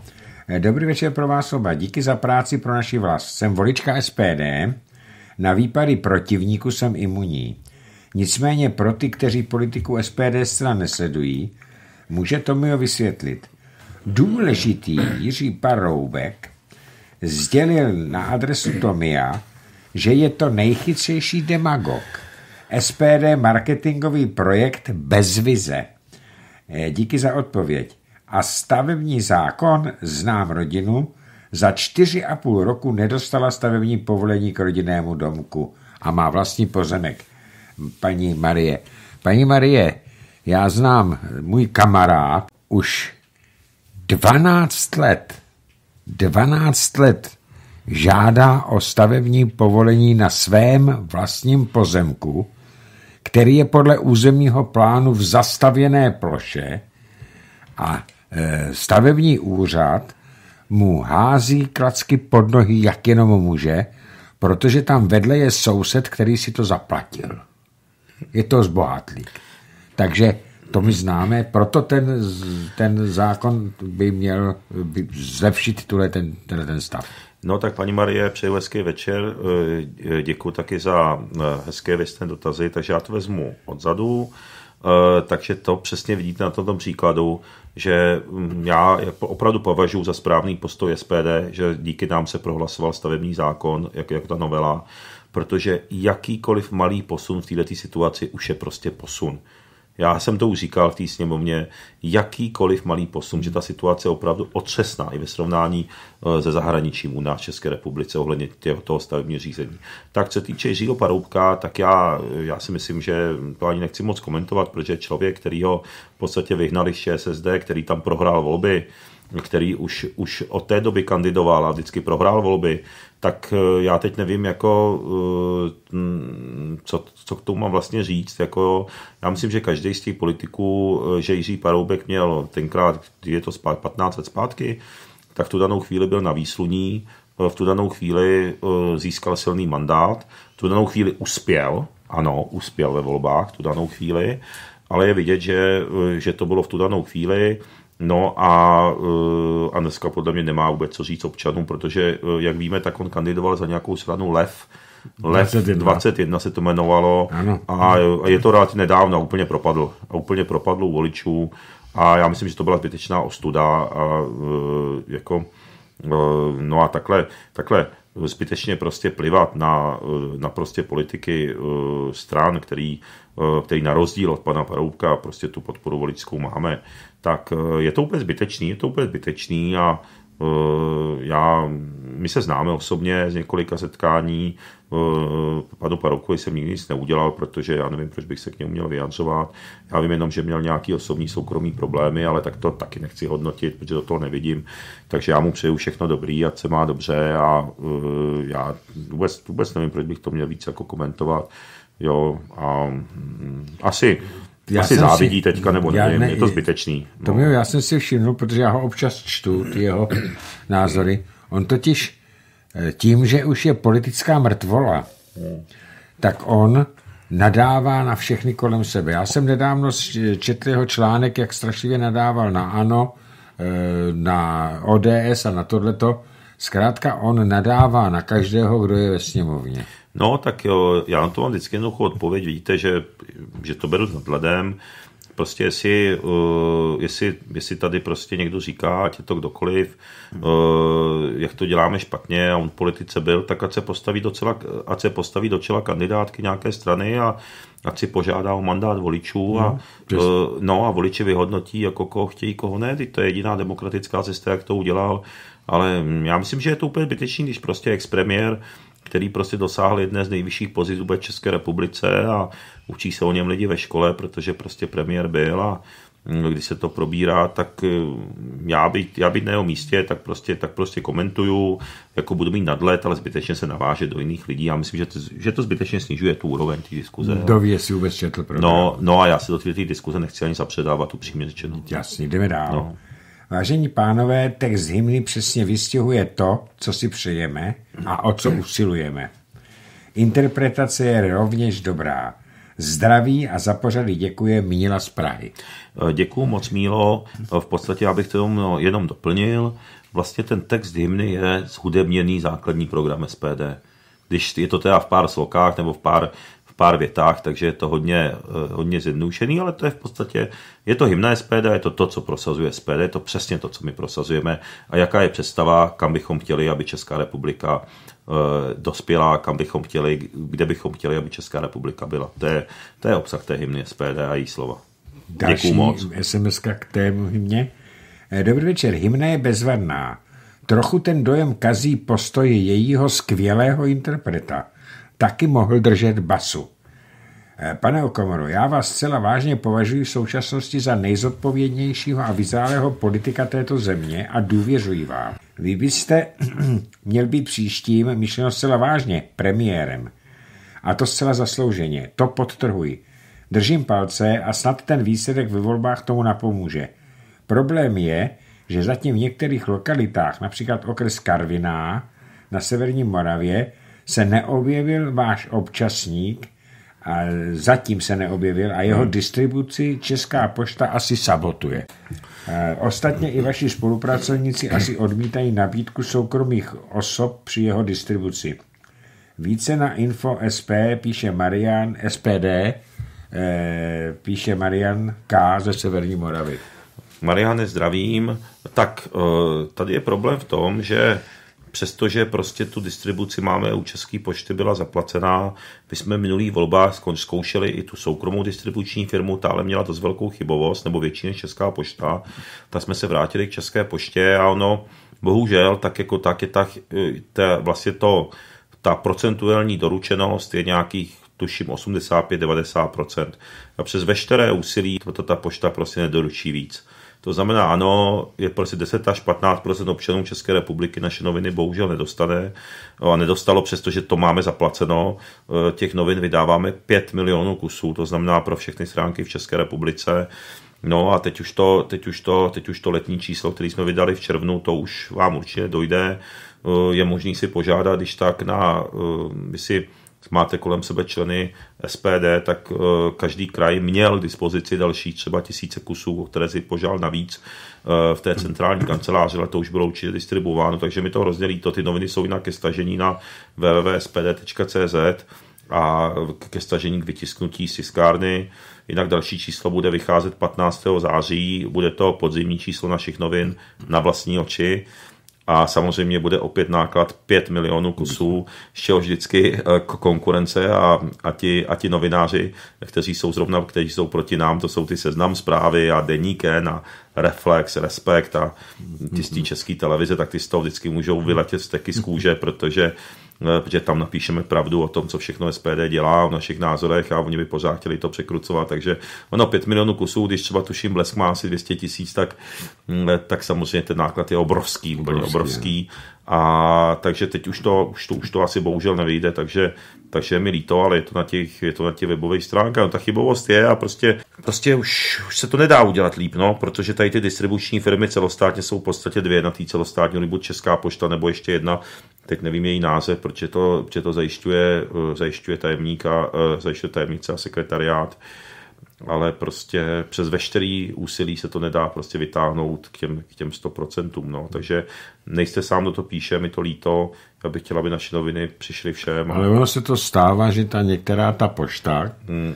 jednotlivá pošta, ne jako celek, hmm to sabotuje a radši to někde vyhodí no, a neroznáší. No, jo? To se to, taky stává. Je to no. tak, eh, někdo nám to občas napíše, že v nějaký ulici ten balík byl někde v popelnici. No, ano, ano. Ale, ale děje se to tak všem, děje se taky to, nám to psali. Děje se to u reklamních letáků, taky ano. prostě je to, je to nějakým osobním, eh, osobním faktorům. Na druhou stranu chápu pošťačky, chápu doručovatelky, protože já to hrozně vytýkám prostě ministru Hamáčkovi. Jo. Že ministr vnitra Hamáček za ČSSD, pod něj spadá Česká pošta. Ale to, co předvádí prostě s řadovými zaměstnancema pošty, kdy na jednu stranu ten nejužší management dostává miliony, a on vlastně, on vlastně tam, a jak špatně jsou ohodnocení a ještě chce propouštět, prostě řadový doručovatelky a prostě... Ty, které, které jsou nejvíc potřeba. Nejvíc potřeba, dělají no. prostě heroickou práci, včetně těch běžných dalších zaměstnanců no. pošty. A tak my jsme úplně proti tomu, jo, ten Hamáček úplně se, to je prostě úplně proti lidem prostě, jo, proti lidem, Jo, on má naopak se postarat o tyhle ty nejpotřebnější zaměstnance a to by takhle dělalo SPD. Eh, takže já rozhodně poštovým doručovatelkám, který jsou chudáci eh, v dešti prostě s, s taškou chodí a ve špatném počasí a za špatných podmínek, já jsem na jejich straně.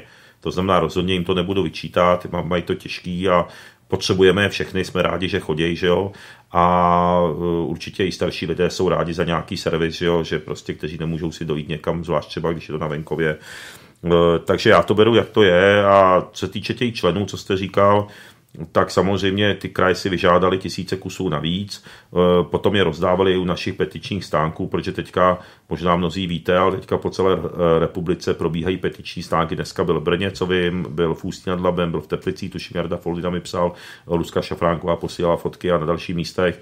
Máme petici za zachování koruny jako české měny je to důležitá petice. Mě se dneska někdo ptal, jestli je to skutečně aktuální. A no je to aktuální, protože v okamžiku, že volby za dva a půl měsíce vyhraje Piráti, Stán, koalice spolu, to je ODS, TOP 09, KDU, ČSL v případě, že se ČSSD dostane do sněmovny a uspěje třeba přísaha Roberta Šlachty, no tak hrozí reálně úplně přijetí eura, mm. protože všechny tyto strany, včetně přísahy Roberta Šlachty, teď ten to řekl jasně, na otázku se znám správně řekl, eh, že nechce ani referendum o vystoupení z EU a, a že, že podporuje Evropskou unii. No tak to je jasný, že se musí přijmout euro. To. Ano, že, že podporuje Evropskou unii a NATO. Ano. No, takže to je vlastně, on má vlastně, já když jsem slyšel tyto programy body, tak je to stejně jako Piráti a TOP 09. Přesně tak. A odmítá ano. referendum, odmítá přímou demokracii. Ano. To znamená, to není vlastenecká strana, protože vlastenecká strana přeci, jak je v naší hymně, eh, bráníme svůj národ, svůj stát a nikoli v Evropskou unii. Takže, eh, takže to, to vůbec není vlastenská strana, to z toho to vidíme a můžou mi stokrát tvrdit, že ale to je přeci přímo v rozporu, tyhle ty slova.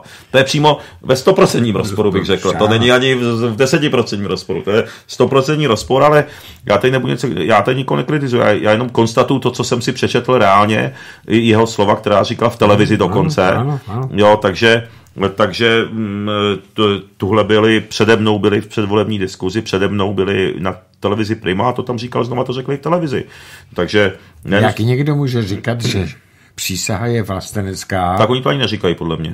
Jo, lidi, myslím. No, tak to právě došlo uh, podle mě k určité mílce, protože, ne, protože mnozí lidi ne, ještě nezaznamenali ten program. Hmm, jo, ale... Ono totiž tajel. Přesně, přesně, ale... On to udělal velice vyčúreně. Hmm. On oznámil vznik přísahy, dostal od někoho peníze, začal dělat kampaň, ale protože nebyl ještě registrovaný u ministerstva vnitra, tak neměl povinnost zveřejňovat ano. program. A protože ten program no, nechtěl zveřejnit a hlavně financování, no tak se neregistroval, ale vystupovala všechna média ho brala jako hotovou stranu e, pana Šlachty přísaha, ale on de facto ide jure ještě neexistovala, proto to nemusel říkat. A děl, eh, chystá se na poslední chvíli, jo, aby získal mezi lidmi, aby získal podporu a nevěděli ty lidé za kdo ho financuje, kolik za to dal a, a ani program. No pravda, e, připadá mi to taky tak, ale z toho, co už bylo zveřejněno, já to chci hodnotit s chladnou hlavou, protože já prostě chci vycházet jenom z faktů a chci to, to pak, je fakt. To no a pak si to, a, až si to pak vyhodnotí voliči. To, co už dneska víme, a už to i zopakoval v médiích, ano, jak v televizi Prima, tak v rozhovoru pro seznam zprávy, že je proti referendu, říkal, e, říkal, že podporuje Evropskou unii, e, říkal, že je i proti vystoupení České republiky z Evropské unie, takže já myslím, já myslím, že eh, jako jestli si najde své voliče, tak je to přes demokratický. Pro mě to byla příjemná zpráva v tom smyslu, že víme, že vlastně se to úplně liší od programu SPD, od našeho vlasteneckého programu, takže pro, eh, pro naše voliče je to jasná zpráva, protože pak, když Robert Šlachta opakovaně řekne, že odmítá referendum, to zná přímou demokracii, že chce nadále se trvávat v Evropské unii, což jasně řekl, Aha. že podporuje Evropskou unii, no tak je to podpora eh, migrace eura, je to jasné, mm-hmm. protože když jste členem Evropské unie, tak musí každý člen přijmout euro. Říkám musí. Jenom je to otázka dříve či později. Ano, musí. Ano, musí. Nejde nepřijmout. Pozor, to je potřeba si jasně říct. Je to podepsáno v přístupových smlouvách. Ano, No takže ten, kdo říká, že podporuje Evropskou unii, nechce euro, tak lže voličům nebo a nezná obsah těch smluv, které Česká no. republika má jako člen EU podepsaná. No takže to si tady zase můžeme říct na rovinu, takže tak jako tak je to špatně teda musím říct.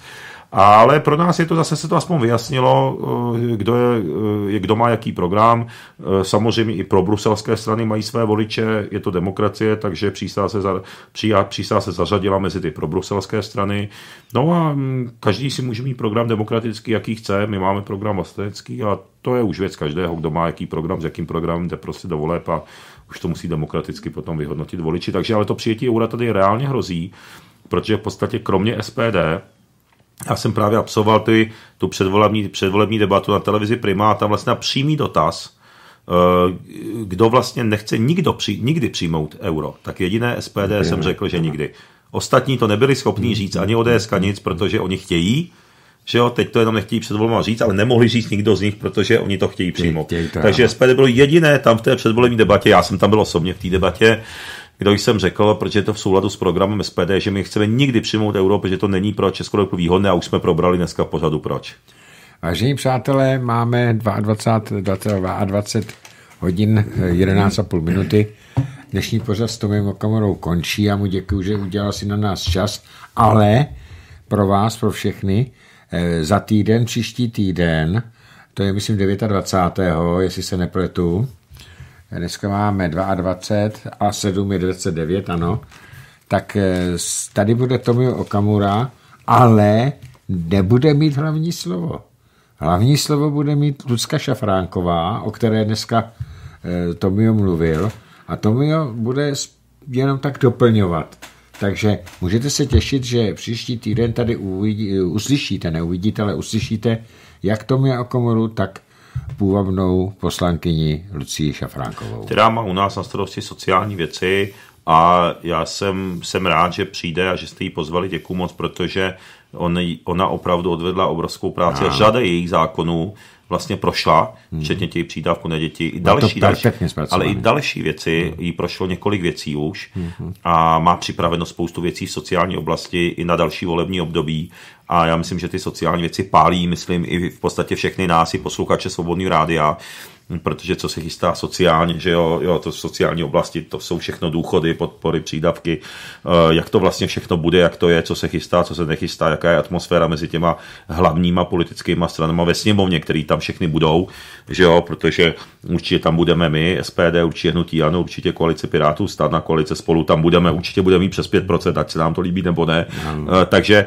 i, i tyhle ty otázky, co se chystá, co ne, jaká je tam atmosféra i na tom sociálním výboru, co hrozí, co nehrozí, tak si myslím, že to bude velmi zajímavá debata, protože ono je v tom uvnitř a jak víte, tak sociální věci ty hýbou společností, protože mm, každý, mm, každý nějakým způsobem, ať je to důchod nebo něco dalšího, tak, tak v podstatě nebo platíte sociální pojištění, že jo, a tak dále, takže v podstatě to se týká každého z nás v jakýmkoliv věku v podstatě. Takže já, já jsem rád, že Lucka přijde a jak si správně řekl, tak uh, ona bude povídat, ona bude určitě odpovídat, ona bude odpovídat na, na ty dotazy a kdyby bylo spíš, kdyby se posluchači ptali, nebo byla nějaká horká aktualita, která by se netýkala sociální věcí. Tak a, to tady budeš. Ty. A otázky taky určitě nebudou jenom sociální ano, věci, ano, ano.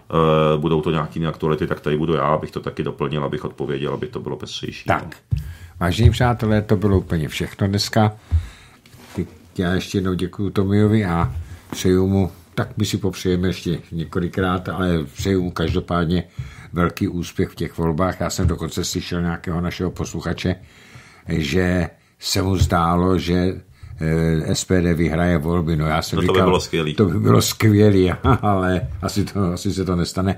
Ale kdyby se to podařilo, já bych byl nejšťastnější člověk na světě. To by bylo skvělý. Já ještě jednou děkuji za pozvání, přeju vám krásný večer, děkuji za uh, mnoho hezkých dotazů a, a děkuji, že jste vydrželi a těším se příští čtvrtek od 8. Přesně večer. tak.